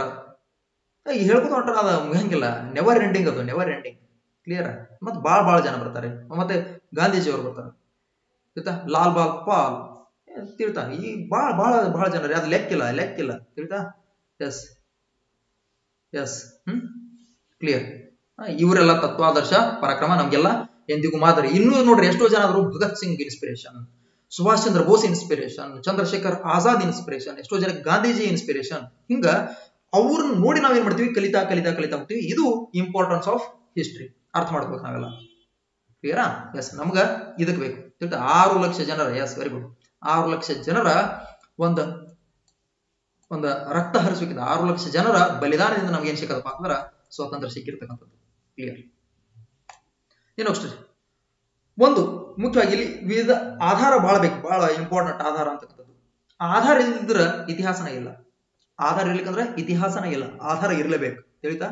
ಎಸ್ ಆಧಾರ ಇರ್ಲಿಕ್ಕಂದ್ರ ಇತಿಹಾಸ. ಏನು ಬೇಕು? ಆಧಾರವಿಲ್ಲದೆ ಇತಿಹಾಸವಿಲ್ಲ. ಸಾಹಿತ್ಯ ಆಧಾರ ಅಂತ ಬರ್ತಾವ, ಪುರಾತತ್ವ ಆಧಾರ ಅಂತ ಹೇಳಿ ಬರ್ತಾವ. ಇಲ್ಲಿ ಸಾಹಿತ್ಯ ಆಧಾರ ಒಳಗ ಲಿಖಿತ ಲಿಖಿತ ಸಾಹಿತ್ಯ ಅಂತ ಬರ್ತದ? ಮೌಖಿಕ ಮೌಖಿಕ ಸಾಹಿತ್ಯ ಅಂತ ಬರ್ತದ? ಯಾವುದು? ಲಿಖಿತ ಸಾಹಿತ್ಯ, ಮೌಖಿಕ ಸಾಹಿತ್ಯ ಅಂತ ಬರ್ತದ? ಲಿಖಿತ ಒಳಗ ದೇಶೀಯ ಸಾಹಿತ್ಯ ಬರ್ತದ? ವಿದೇಶಿ ಸಾಹಿತ್ಯ ಬರ್ತದ? ಎಸ್. ಆಧಾರ ರೀ. ಎವಿಡೆನ್ಸ್ ಗೊತ್ತಾಗಿಲ್ಲ? ಆಧಾರ ಎವಿಡೆನ್ಸ್ ಆಧಾರ ಇರ್ಬೇಕು. ನೋಡ್ರಿ, ಸಾಹಿತ್ಯ ಆಧಾರ ಬಂದಾಗ ಯಾವ ಬರ್ತಾವು? ಯಾವ ಎರಡು ವಿಧಗಳು ಬರ್ತಾವ? ಒಂದು ಲಿಖಿತ ಸಾಹಿತ್ಯ, ಇನ್ನೊಂದು ಮೌಖಿಕ ಸಾಹಿತ್ಯ. ಕಮೆಂಟ್ ಏನ್ ಮಾಡ್ಲಿಕ್ಕೆ ಕಮೆಂಟ್ಗಳು ನೋಡಾಕತ್ತೇನೆ. ಓಕೆ ಮಾಡ್ರಿ ಮಾಡ್ರಿ ಕಮೆಂಟ್ ಎಸ್ ಲಿಖಿತ, ಮೌಖಿಕ.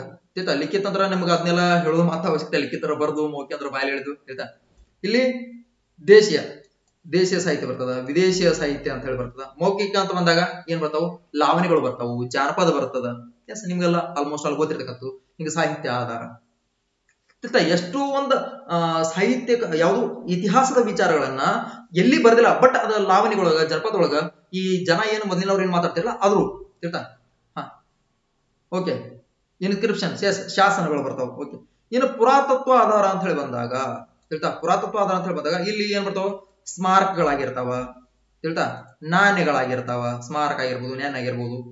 ಮತ್ತ ಕೆತ್ತರಿಸಿದಿರತಕ್ಕಂತ ಆಗಿರ್ಬೋದು ಶಿಲಾಶಾಸನ ಆಗಿರ್ಬೋದು. ತಿಳ್ತಾ? ಪುರಾತತ್ವ ಆಧಾರಗಳು. ತಿಳ್ತಾ? ನೋಡ್ರಿ ಸಿಂಪಲ್ ಹೆಸರು ಹೇಳ್ತದ, ಆಧಾರ ಅಂತ ಬಂದಾಗ ಹೆಸರು ಹೇಳ್ತದ ಏನಪ್ಪಾ? ಸಾಹಿತ್ಯ ಆಧಾರ. ಒಂದು ಲಿಖಿತ, ಇನ್ನೊಂದು ಮೌಖಿಕ. ಒಂದು ಬರೆದಿಟ್ಟದ್ದು, ಒಂದು ಬಾಯಲ್ಲಿ ಜನಪದರು ಮಾತಾಡಿದ್ದು. ತಿಳ್ತಾ? ಹಾಡಿನ ರೂಪ ಲಾವಿನ ಲಾವಣಿ ರೂಪ ಒಳಗ. ಆಮೇಲೆ ಪುರಾತತ್ವ ಆಧಾರ ಅಂತಂದ್ರ, ಇಲ್ಲಿ ನಾಣ್ಯಗಳಾಗಿರ್ಬಹುದು ಆಮೇಲೆ ಮತ್ತೆ ಶಾಸನಗಳಾಗಿರ್ಬಹುದು ತಿಳಿತಾ? ಮತ್ತೆ ಅಲ್ಲಿ ಇಲ್ಲಿ ಕಲ್ಬಂಡ ಬೇಕಿರ್ತಾರಲ್ಲ ಶಾಸನಗಳು ಅಂದ್ರೆ ನಿಮ್ಗೆ ಗೊತ್ತದ? ತಿಳಿತಾ?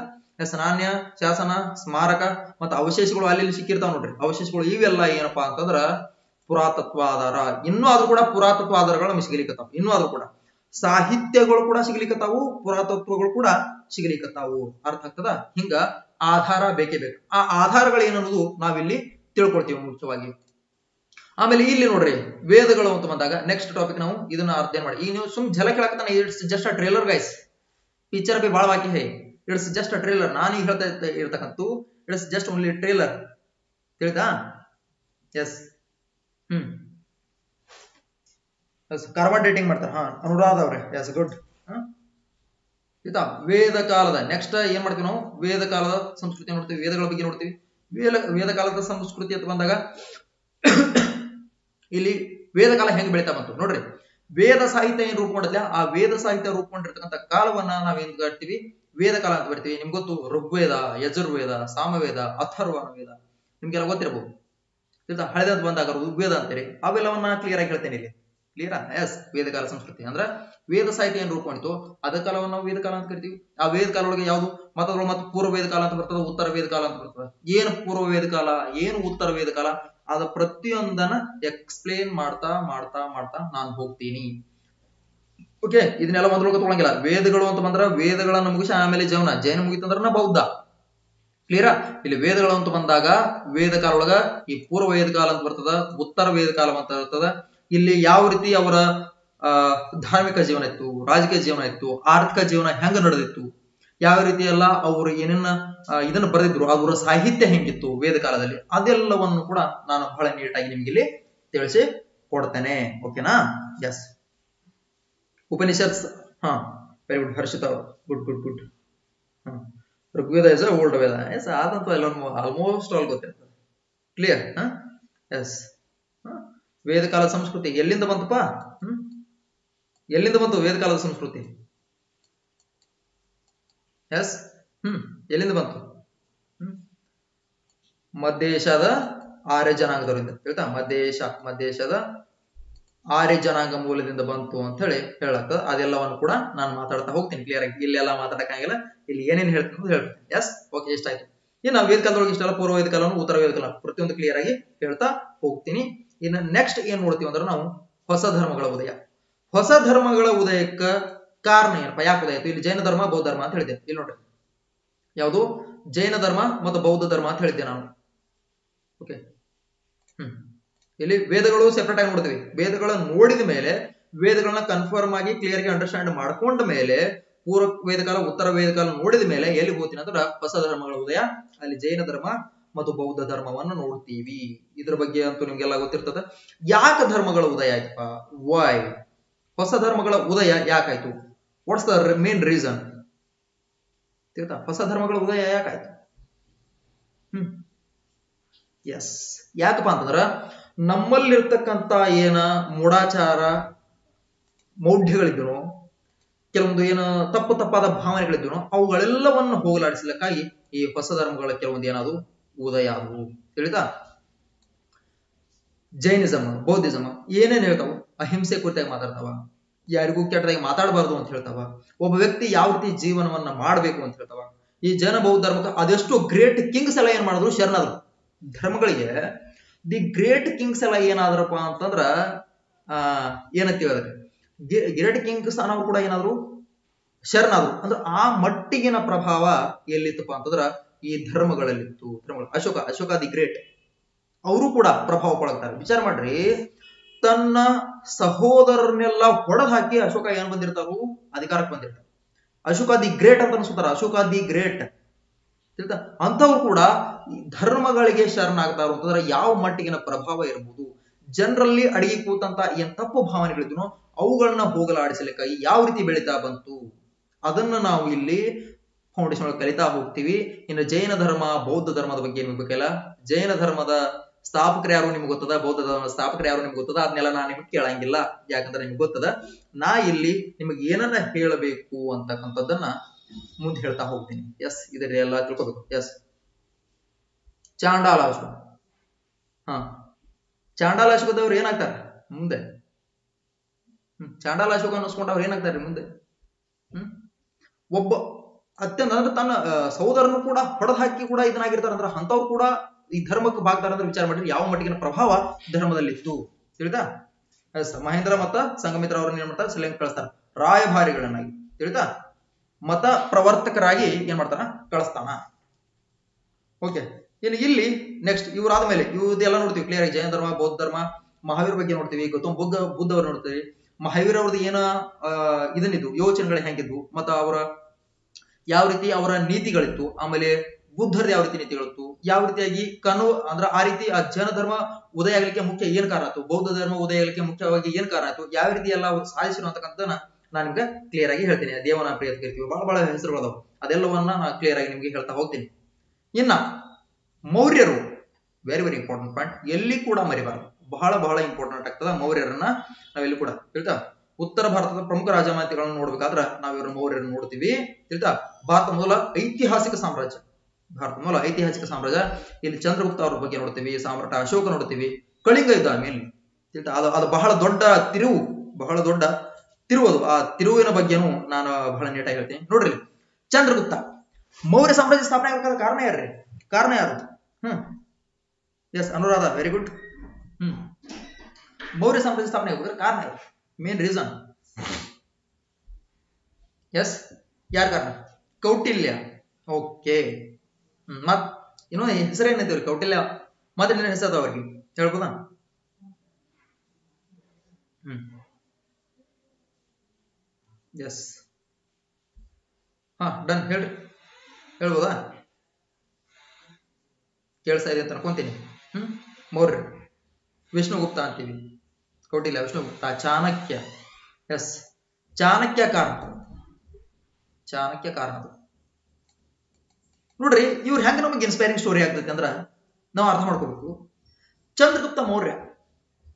ಒಂದು ಸಲ ಇವು ಚಾಣಕ್ಯ ಏನ್ ಮಾಡ್ತಾನ ಟ್ರೈನ್ ಮಾಡ್ತಿರ್ತಾನೆ ಯಾರನ್ನ ಚಂದ್ರಗುಪ್ತ ಮೌರ್ಯನ ಕೆಲವೊಂದ್ ಕಡೆ ಚಂದ್ರಗುಪ್ತ ಮೌರ್ಯನ ಬಗ್ಗೆ ಮಾತಾಡ್ತಿರ್ಬೇಕಾದ್ರ ಅವರು ಕೆಲವೊಂದು ಇತಿಹಾಸಕಾರ ಹೇಳ್ತಾರ ಅವ್ರು ಒಳ್ಳೆ ಕುಟುಂಬದಿಂದ ಬಂದಿದ್ರು. ಕೆಲವ್ರು ಹೇಳ್ತಾರ ಅವರು ಬಹಳ ಕಡು ಬಡತನದವ್ರು ಇದ್ರು ಕೆಲವ್ರು ಹೇಳ್ತಾರ ಅವರು ಮಧ್ಯಮದ ವರ್ಗದವರಿದ್ರು ಅಂತ ಹೇಳಿ. ತಿಳ್ತಾ? ಅದು ಏನೇನ ಐತಿ ಅನ್ನೋದನ್ನ ನೋಡ್ತೀವಿ. ತಿಳ್ತಾ?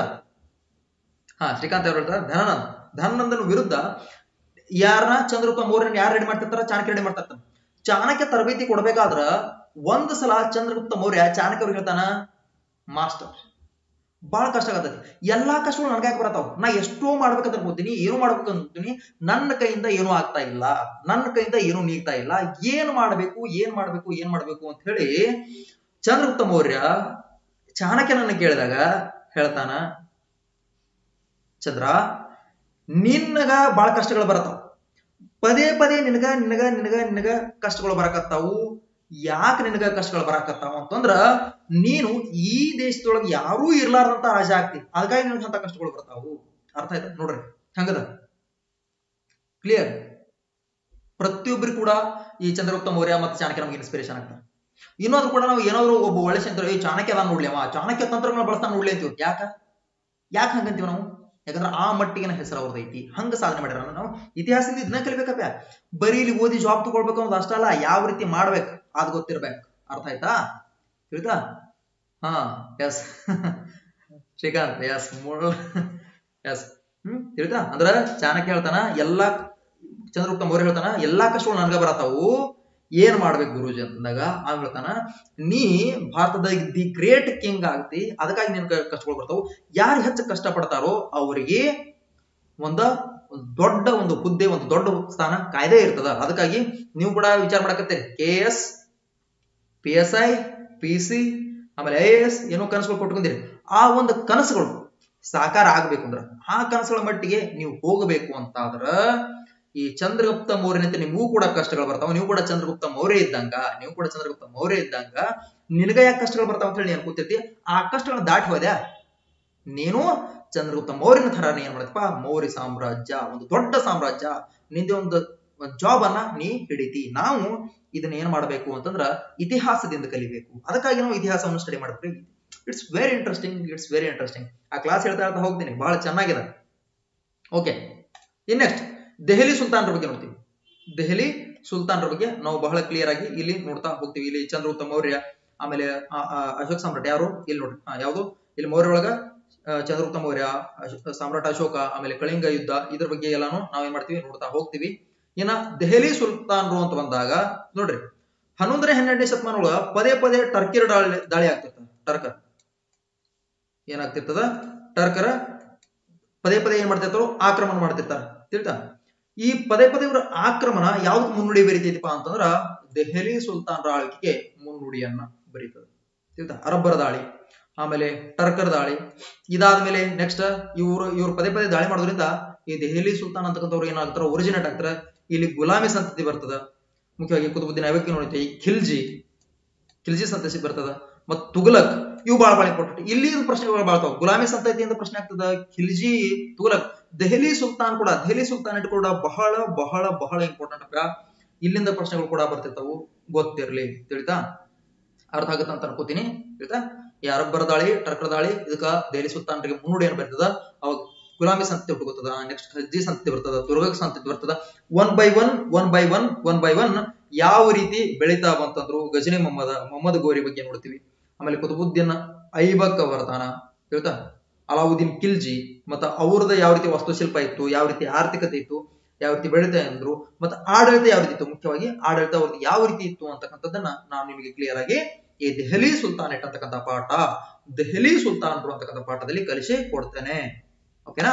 ನೆಕ್ಸ್ಟ್ ಏನು ಮೊಘಲರು ಬರ್ತಾರ. ಮೊಘಲರ ಬಗ್ಗೆ ಬಹಳ ಪ್ರಶ್ನೆಗಳು ಬರ್ತಾವ. ತಿಳ್ತಾ, ಯಾವ್ದೇ ಎಕ್ಸಾಮ್ ಒಳಗ ಎಲ್ಲಾದ್ರ ಬಗ್ಗೆ ಬಿಟ್ಟು ಮೊಘಲರ ಬಗ್ಗೆ ಅಂತೂ ಬಿಡಂಗಿಲ್ಲ. ಮೊಘಲರ ಬಗ್ಗೆ ಅಂತೂ ಕೇಳಿ ಕೇಳ್ತಾನ. ಮೊಘಲರ ಬಗ್ಗೆ ಏನ್ ಮಾಡ್ತಾನ? ಕೇಳಿ ಕೇಳ್ತಾನ. ತಿಳಿತಾ? ನೋಡ್ರಿ, ಭಾರತದೊಳಗ ಮೂರು ಸಾಮ್ರಾಜ್ಯ ಬಹಳ ಫೇಮಸ್ ಮೂರು ಸಾಮ್ರಾಜ್ಯ. ತಿಳಿತಾ? ಮೂರು ಸಾಮ್ರಾಜ್ಯ ಬಹಳ ಬಹಳ ಫೇಮಸ್ ಒಂದು ಮೌರ್ಯ ಸಾಮ್ರಾಜ್ಯ. Mauryan empire full famous second one ಗುಪ್ತರ ಸಾಮ್ರಾಜ್ಯ. ಮೂರು ರಾಜಮನೆತನ ಬಹಳ ಫೇಮಸ್ ಭಾರತದ ಇತಿಹಾಸದೊಳಗ ಮೂರ ಸಾಮ್ರಾಜ್ಯ ಬಹಳ ಫೇಮಸ್ ಒಂದು ಮೌರ್ಯರ ಸಾಮ್ರಾಜ್ಯ ಫುಲ್ ಫೇಮಸ್ ಗುಪ್ತ ಸಾಮ್ರಾಜ್ಯ ಫುಲ್ ಫೇಮಸ್ ಆಮೇಲೆ ಇನ್ನೊಂದು ಯಾವ್ದಾರ ಮೊಘಲ್ ಸಾಮ್ರಾಜ್ಯ. ಭಾರತದ ಮೂರು ಪ್ರಮುಖ ಸಾಮ್ರಾಜ್ಯಗಳಲ್ಲಿ ಯಾವಪ್ಪ ಅಂತಂದ್ರ ಒಂದು ಮೌರ್ಯ ಸಾಮ್ರಾಜ್ಯ ಫುಲ್ ಫೇಮಸ್ ಅದ. ಆಮೇಲೆ ಗುಪ್ತ ಸಾಮ್ರಾಜ್ಯ ಅದ. ಆಮೇಲೆ ಮೊಘಲ್. ಆಮೇಲೆ ಮತ್ತ ಇದಾದ ಮೇಲೆ ನೆಕ್ಸ್ಟ್ ನೆಕ್ಸ್ಟ್ ಒಂದು ಇದ್ರೊಳಗೆ ವಿಜಯನಗರ ಸಾಮ್ರಾಜ್ಯ ಕೂಡ ಫುಲ್ ಫೇಮಸ್ ನಮ್ದು ಕೂಡ. ನಮ್ದು ವಿಜಯನಗರ ಸಾಮ್ರಾಜ್ಯ. ಆಯ್ತಾ? ಅದ್ರ ಬಗ್ಗೆ ನಾವು ನೋಡ್ತೀವಿ ಕ್ಲಿಯರ್ ಇಲ್ಲಿ ಜಸ್ಟ್ ನಾನು ನಿಮ್ಗೆ ಕಂಪ್ಯಾರಿಸನ್ ಕೊಟ್ಟೆ. ನೆಕ್ಸ್ಟ್ ಹೋಗೋಣ. ಇಲ್ಲಿ ಮೊಘಲರ ಒಳಗೆ ಏನು ಕಲಿತೀವಪ್ಪ ಅಂದ್ರೆ ಹದಿನೈದು ಹೋಗ ಬಾಬರ್ ಏನ್ ಮಾಡ್ತಾನೆ? ಭಾರತ ಮೇಲೆ ದಂಡೇತ್ ಬರ್ತಾನೆ. ಬಾಬರ್. ತಿಳಿತಾ? ದಂಡೇತ್ ಬಂದು ಅಲ್ಲಿಂದ ಅವ್ರು ಏನಾಗ್ತದ? ಆಡಳಿತ ಶುರು ಆಗ್ತದೆ. ಹದಿನೈದು ನೂರ ಇಪ್ಪತ್ತಾರು. ಕ್ಲಿಯರ್ ಕ್ಲಿಯರ್ ಅರ್ಥ ಆಯ್ತು ಅಂತ ಗೊತ್ತೇನ? ಹದಿನೈದು ನೂರ ಇಪ್ಪತ್ತಾರೊಳಗ ನೀವು ಭಾರತ ಮೇಲೆ ದಂಡೆತ್ ಬಂದು ದೆಹಲಿ ಸುಲ್ತಾನ್ ಆಳ್ವಿಕೆ ಏನ್ ಮಾಡ್ತಾನ? ಕೊನೆ ಬರ್ತಾನ. ದೆಹಲಿ ಸುಲ್ತಾನ್ ಆಳ್ವಿಕೆ one by one step by step by ಇಲ್ಲಿ ಎಲ್ಲೂ ಕೂಡ ಪಾಯಿಂಟ್ ಮಿಸ್ ಮಾಡ್ತಾ ಇಲ್ಲ. ದೆಹಲಿ ಸುಲ್ತಾನರು ನೆಕ್ಸ್ಟ್ ಯಾರು? ಮೊಘಲರು. ಹಿಂಗ ಪ್ರತಿಯೊಂದನ್ನ ಕ್ಲಿಯರ್ ಮಾಡ್ತಾ ಮಾಡ್ತಾ step by step step by step ಹೋಗ್ತಿರ್ತೀನಿ. Vijayanagara ಸಾಮ್ರಾಜ್ಯ ಕೂಡ ತಗೋತೀನಿ ನೋಡ್ ವರಿ ಕ್ಲಿಯರ್ ಎಸ್ ಇಲ್ಲಿ ಬಾಬರ್, ಆಮೇಲೆ ಮುಖ್ಯವಾಗಿ ಹುಮಾಯೂನ್ ಔರಂಗಜೇಬ್, ಮತ್ತ ಇವ್ರದ್ದು ಯಾವ ರೀತಿ ಅವನತಿ ಇತ್ತು? ಅದ್ರ ಬಗ್ಗೆ ಭಾಳ ಮಾತಾಡ್ಬೇಕು. ತಿಳ್ತಾ? ಅವನತಿ ಹಂಗಾಗಿ ಹೆಂಗ್ ಇವ್ರು ಕೊಲ್ಯಾಪ್ಸ್ ಆದ್ರು? ಕೊಲ್ಯಾಪ್ಸ್ ಆದ್ರ ಬಗ್ಗೆನು ಕ್ಲಿಯರ್ ನೋಡ್ತಾ ಇದ್ರು. ತಿಳ್ತಾ? ಇವರು ಮುಖ್ಯವಾಗಿ ಮೂರ್ ಜನ ಏನಪ್ಪಾ ಅಂದ್ರ ಮುಖ್ಯವಾಗಿರ್ತಕ್ಕಂಥ ರಾಜ ಆಯ್ತಾ ಮೊಘಲರು ಇದ್ರ ಬಗ್ಗೆನು ನೋಡೋಣ. ಆಮೇಲೆ ಮುಖ್ಯ ಇಲ್ಲಿ ಭಕ್ತಿ ಪಂಥ ಸೂಫಿ ಪರಂಪರೆ. ಭಕ್ತಿ ಪಂಥ ಸೂಫಿ ಪರಂಪರೆ. ಇದ್ರ ಬಗ್ಗೆ ಗೊತ್ತಿರ್ಬೇಕು ನಮಗೆ. ಭಕ್ತಿ ಪಂಥ ಸೂಫಿ ಪರಂಪರೆ ಬಗ್ಗೆ. ಏನು ಭಕ್ತಿ ಪಂಥ ಈ ಭಕ್ತಿ ಪಂಥ ಏನ್ ಮಾಡಿತು ಅಂತಂದ್ರ ಸಮಾನತೆ. ಯಾರು ಮೇಲಲ್ಲ, ಯಾರು ಕೀಳಲ್ಲ. ಏನು? ಯಾರು ಮೇಲಲ್ಲ, ಯಾರು ಕೀಳಲ್ಲ ಅಂತಕ್ಕಂಥದ್ದನ್ನ. ಮತ್ತೆ ಕಂದಾಚಾರವನ್ನು ಎದುರಿಸ್ತು ಆಮೇಲೆ ಜನರ ಹೃದಯನ ಬೆಸೀತಕ್ಕಂಥ ಒಂದು ಕಾರ್ಯ. ಇದು ಒಳ್ಳೆಯ ಕಾರ್ಯ, ಬಹು ಒಳ್ಳೆಯ ಕಾರ್ಯ. ಅಂದ್ರ ಏನು? ಸಮಾನತೆ ಇರ್ಬೋದು. ಕಂದ ಸಮಾನತೆಯನ್ನು ಸಾರ್ತದೆ ಎಲ್ಲರೂ ಒಂದ ಈಕ್ವಲ್ ಅಂತ ಇತ್ತು ಕಂದಾಚಾರ ಎದುರಿಸ್ತು ಆಮೇಲೆ ಜನರ, ಅಂದ್ರ ನಾವೆಲ್ಲ ಒಂದಪ್ಪ. ನಾವೆಲ್ಲರೂ ಒಂದೇ ಅಂತಕ್ಕಂಥ ಭಾವನೆ ಬರ್ತಂದ್ರ ತಾನ ಪ್ರೀತಿ ಬೆಳೆದು ಬೆಳೀತದೆ. ನಾವೆಲ್ಲರೂ ನಾವೆಲ್ಲರೂ ಒಂದೇ. ಇಲ್ಲಿ ಯಾರು ಹೆಚ್ಚಲ್ಲ, ಯಾರು ಕಡಿಮೆ ಇಲ್ಲ ಅಂತಕ್ಕಂಥ ಭಾವನೆ ನಮ್ಮಲ್ಲಿ ಬೆಳೀತು ಅಂತಂದ್ರ, ಭಾವನೆ ನಮ್ಮಲ್ಲಿ ಬೆಳೀತು ಅಂತಂದ್ರ ನಾವು ಏನಾಗ್ತದೆ? ಒಬ್ರಿಗೊಬ್ರು ಪ್ರೀತಿಸಲಿಕ್ಕೆ ಶುರು ಮಾಡ್ತೀವಿ. ಜಗತ್ತಿನ ಪ್ರೀತಿ ಮ್ಯಾಗ ಅಂತ ಹೇಳ್ತಾರೆ. ತಿಳಿತಾ? ಇಲ್ಲಿ ಧರ್ಮವೆಂದರೆ ಪ್ರೇಮ ಮತ್ತು ಮಾನವ ಸೇವೆ ಅಂತಂದ್ರು. ಈ ಭಕ್ತಿ ಪಂಥದವರು ಮತ್ತು ಸೂಪಿ ಪರಪಿದವರು ಏನಂದ್ರಪ್ಪ ಅಂತಂದ್ರ ಧರ್ಮವೆಂದ್ರ. ನಾವ್ ನಂದು ಆ ಧರ್ಮ, ನಿಂದ ಈ ಧರ್ಮ, ಆ ಜಾತಿ, ಈ ಜಾತಿ ಸುಮ್ಮ ಹೊಡೆದಾಡ್ತಾರ ಬಡ್ಡಿ ಮಕ್ಕಳ ಮ ಏನು ಇಲ್ಲ ಇಲ್ಲಿ ಇರ್ತಾರ ಸುಮ್ಮ ಹೊಡೆದಾಡ್ತಾರ. ಆದ್ರ ಇಲ್ಲಿ ಹೇಳ್ತಕ್ಕಂಥದ್ದು ಧರ್ಮ ಅಂತಂದ್ರ ಪ್ರೇಮ, ಮಾನವ ಸೇವೆ. ಅಂದ್ ಮಾನವ ಸೇವೆ ಅಂದ್ರೆ ಒಬ್ರಿಗೊಬ್ರು ಸಪೋರ್ಟ್ ಮಾಡುದು.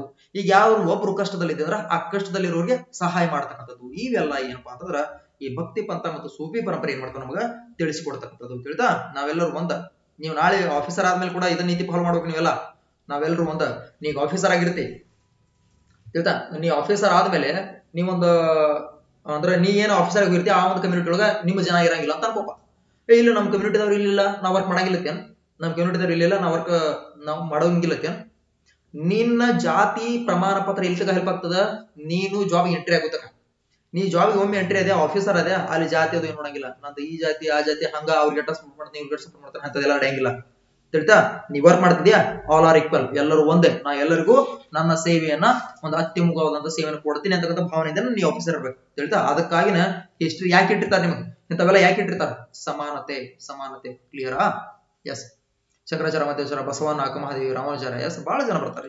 ಭಕ್ತಿ ಪಂಥದೊಳಗೆ ಆಕ್ಚುಲಿ ದಕ್ಷಿಣ ಭಾರತ ಪರಂಪರೆ ಆಂಡಾಳ್ ಅಂತಕ್ಕಂಥ ಒಬ್ಬರ ಹೆಣ್ಮಗಳು ಬರ್ತಾರ. ಆಂಡಾಳ್ ಅಂತ ಹೇಳಿ. ಆಂಡಾಳ್ ಇವರು ಏನಪ್ಪಾ ಅಂತಂದ್ರ, ತಮಿಳ್ನಾಡಿನ ವಿಷ್ಣು ಭಕ್ತರೊಳಗೆ ಇವರು ಕೂಡ. ತಮಿಳ್ನಾಡಿನ ವಿಷ್ಣು ಭಕ್ತರೇ ಅಂತ ಬರ್ತಾರ. ಆ ವಿಷ್ಣು ಭಕ್ತರೊಳಗ ಇವ್ರು ಕೂಡ ಅವರು. ಆಮೇಲೆ ಅಕ್ಕಮಹಾದೇವಿ ಬರ್ತಾವ. ತಿಳಿದ ನಮ್ಮವರು ಆಮೇಲೆ ಪುರಂದರದಾಸರು, ಕನಕದಾಸರು ಶಿಶುನಾಳ ಶರೀಫರು, ಇವರೆಲ್ಲ ನಮ್ಮವರು ತಿಳಿತಾ? ಇವ್ರ ಬಗ್ಗೆ ಬಹಳ ಹೆಮ್ಮೆ ಅನಿಸ್ತದ ಬಹಳ ಖುಷಿ ಅನಿಸ್ತದ. ಇವ್ರ ಬಗ್ಗೆ ಮಾತಾಡ್ಬೇಕಾದ್ರೆ ಬಹಳ ಖುಷಿ ಅನಿಸ್ತದ ನಂಗೆ ಆಕ್ಚುಲಿ ತಿಳಿತಾ? ಬಹಳ ಬಹಳ ಖುಷಿ ಅನಿಸ್ತದ. ಮಾತಾಡ್ತೀನಿ ಕ್ಲಾಸ್ ಒಳಗ ಬಹಳ ನೀಟಾಗಿ ಬಹಳ ಚಂದಾಗಿ. ತಿಳಿತಾ? ಮಸ್ತ್ ಮಸ್ತ್. ಹ್ಮ್ ಮಾತಾಡೋಣ ಆಕ್ಚುಲಿ ಯಾವಾಗ ಇವು ಈ ಕ್ಲಾಸ್ ಯಾವಾಗ ಬರ್ತಾವ ಅಂತ ಹೇಳಿ ನಾನು ವೇಟ್ ಮಾಡ್ತಾ ಇದ್ದೀನಿ. ಮಾತಾಡೋಣ ಅಲ್ಲೆಲ್ಲ. ನೋಡ್ರಿ ಅಂತದ್ದು ಶಿಶುನಾಳ ಶರೀಫ್. ಅಂತ ಇನ್ಸ್ಪಿರೇಷನ್ ಕನಕದಾಸರ ತಿಮ್ಮಪ್ಪ ನಾಯಕ. ಅವನು ಕೂಡ ಒಬ್ಬ ಯೋಧನೇ ಒಬ್ಬ ಯೋಧ ಭಕ್ತಿ ಪರಂಪರೆಗೆ ಮುನ್ನುಡಿ ಬರೀತಾರೆ ಅಂದ್ರೆ ವಿಚಾರ ಮಾಡ್ರಿ. ಎಸ್ ಪುರಂದರದಾಸ. ಆಮೇಲೆ ಅಕ್ಕ ಮಹಾದೇವಿ ಆಂಡಾಳು ಹೇಳ್ತಾ ವಿಷ್ಣು ಭಕ್ತರೊಳಗ ಹನ್ನೆರಡು ಒಂದು ಶಿಷ್ಯರೊಳಗೆ ಇವರು ಕೂಡ ಒಬ್ರು ಅಂತ ಹೇಳಿ ಹೇಳ್ತದ. ನೋಡೋಣ ಅದ್ರ ಬಗ್ಗೆ ಎಲ್ಲ ಮಾತಾಡೋಣ ಅಂತ. ಆಮೇಲೆ ಮುಖ್ಯವಾಗಿ ಮತ್ತೆ ಏನ್ ಬರ್ತದ? ಉತ್ತರ ಭಾರತ ಪರಂಪರೆ ಬರ್ತದ? ಉತ್ತರ ಭಾರತ ಪರಂಪರೆ ಒಳಗ ಕಬೀರ್ ದಾಸರು ಬರ್ತದ ಗುರು ನಾನಕರು ಬರ್ತಾರ, ತುಳಸಿದಾಸರು ಬರ್ತದ ಮೀರಾಬಾಯಿ ಅವ್ರು ಬರ್ತಾರ. ಶ್ರೀ ಚೈತನ್ಯ ಬರ್ತಾರೆ. ಏನ್ರಿ? ಎಲ್ಲ ಒಬ್ರಿಗಿಂತ ಒಬ್ರು ಇನ್ಸ್ಪಿರೇಷನ್ ಒಬ್ರಿಗಿಂತ ಒಬ್ರು.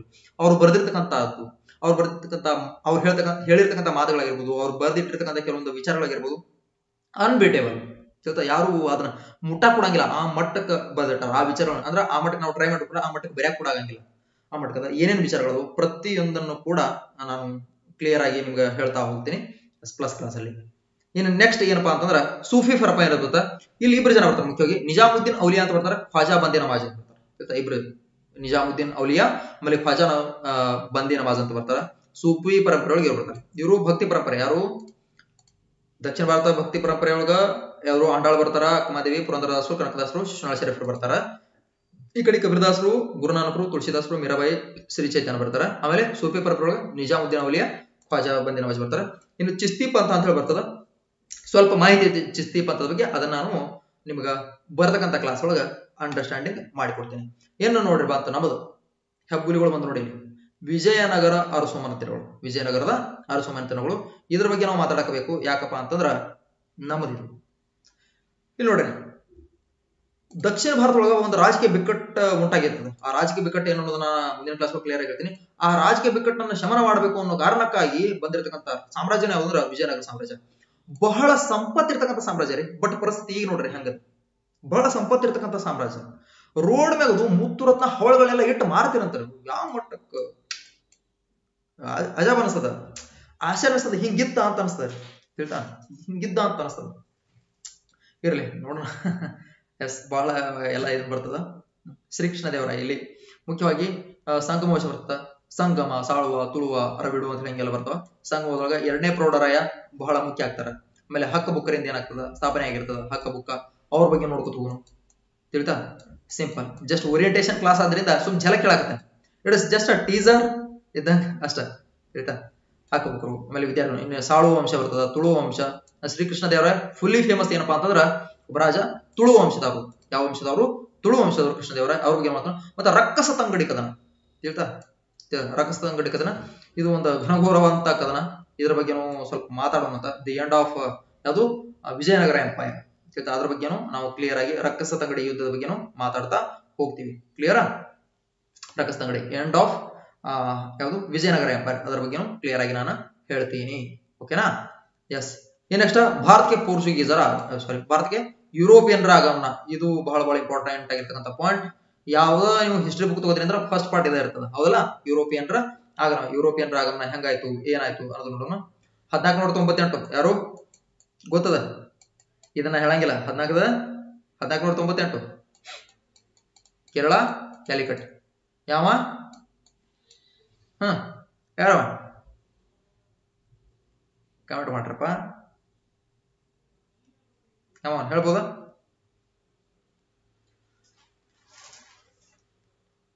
ಎಸ್ ಮರಿಬೇಡ್ರಲ್ಲ. ಹಾ ವಾಸ್ಕೋಡಿಗಮ ಗೊತ್ತದ? ಪೋರ್ಚುಗೀಸರು ಆಮೇಲೆ ಡಚ್ರು ಇಂಗ್ಲಿಷ್ರು ಫ್ರೆಂಚ್ರು ಯಾವ ರೀತಿ ಅನ್ನೋ ಇಂಗ್ಲಿಷ್ ಅಂತ ಉಳಿದ್ಬಿಟ್ರು. ಯಾವ್ಯಾವ ರೀತಿ ಎಲ್ಲ ಇವ್ರದ್ದು ಬಂತು ಅಂತ ಹೇಳಿ ನೋಡ್ಕೊತ ಹೋಗೋಣ. ಆಯ್ತಾ?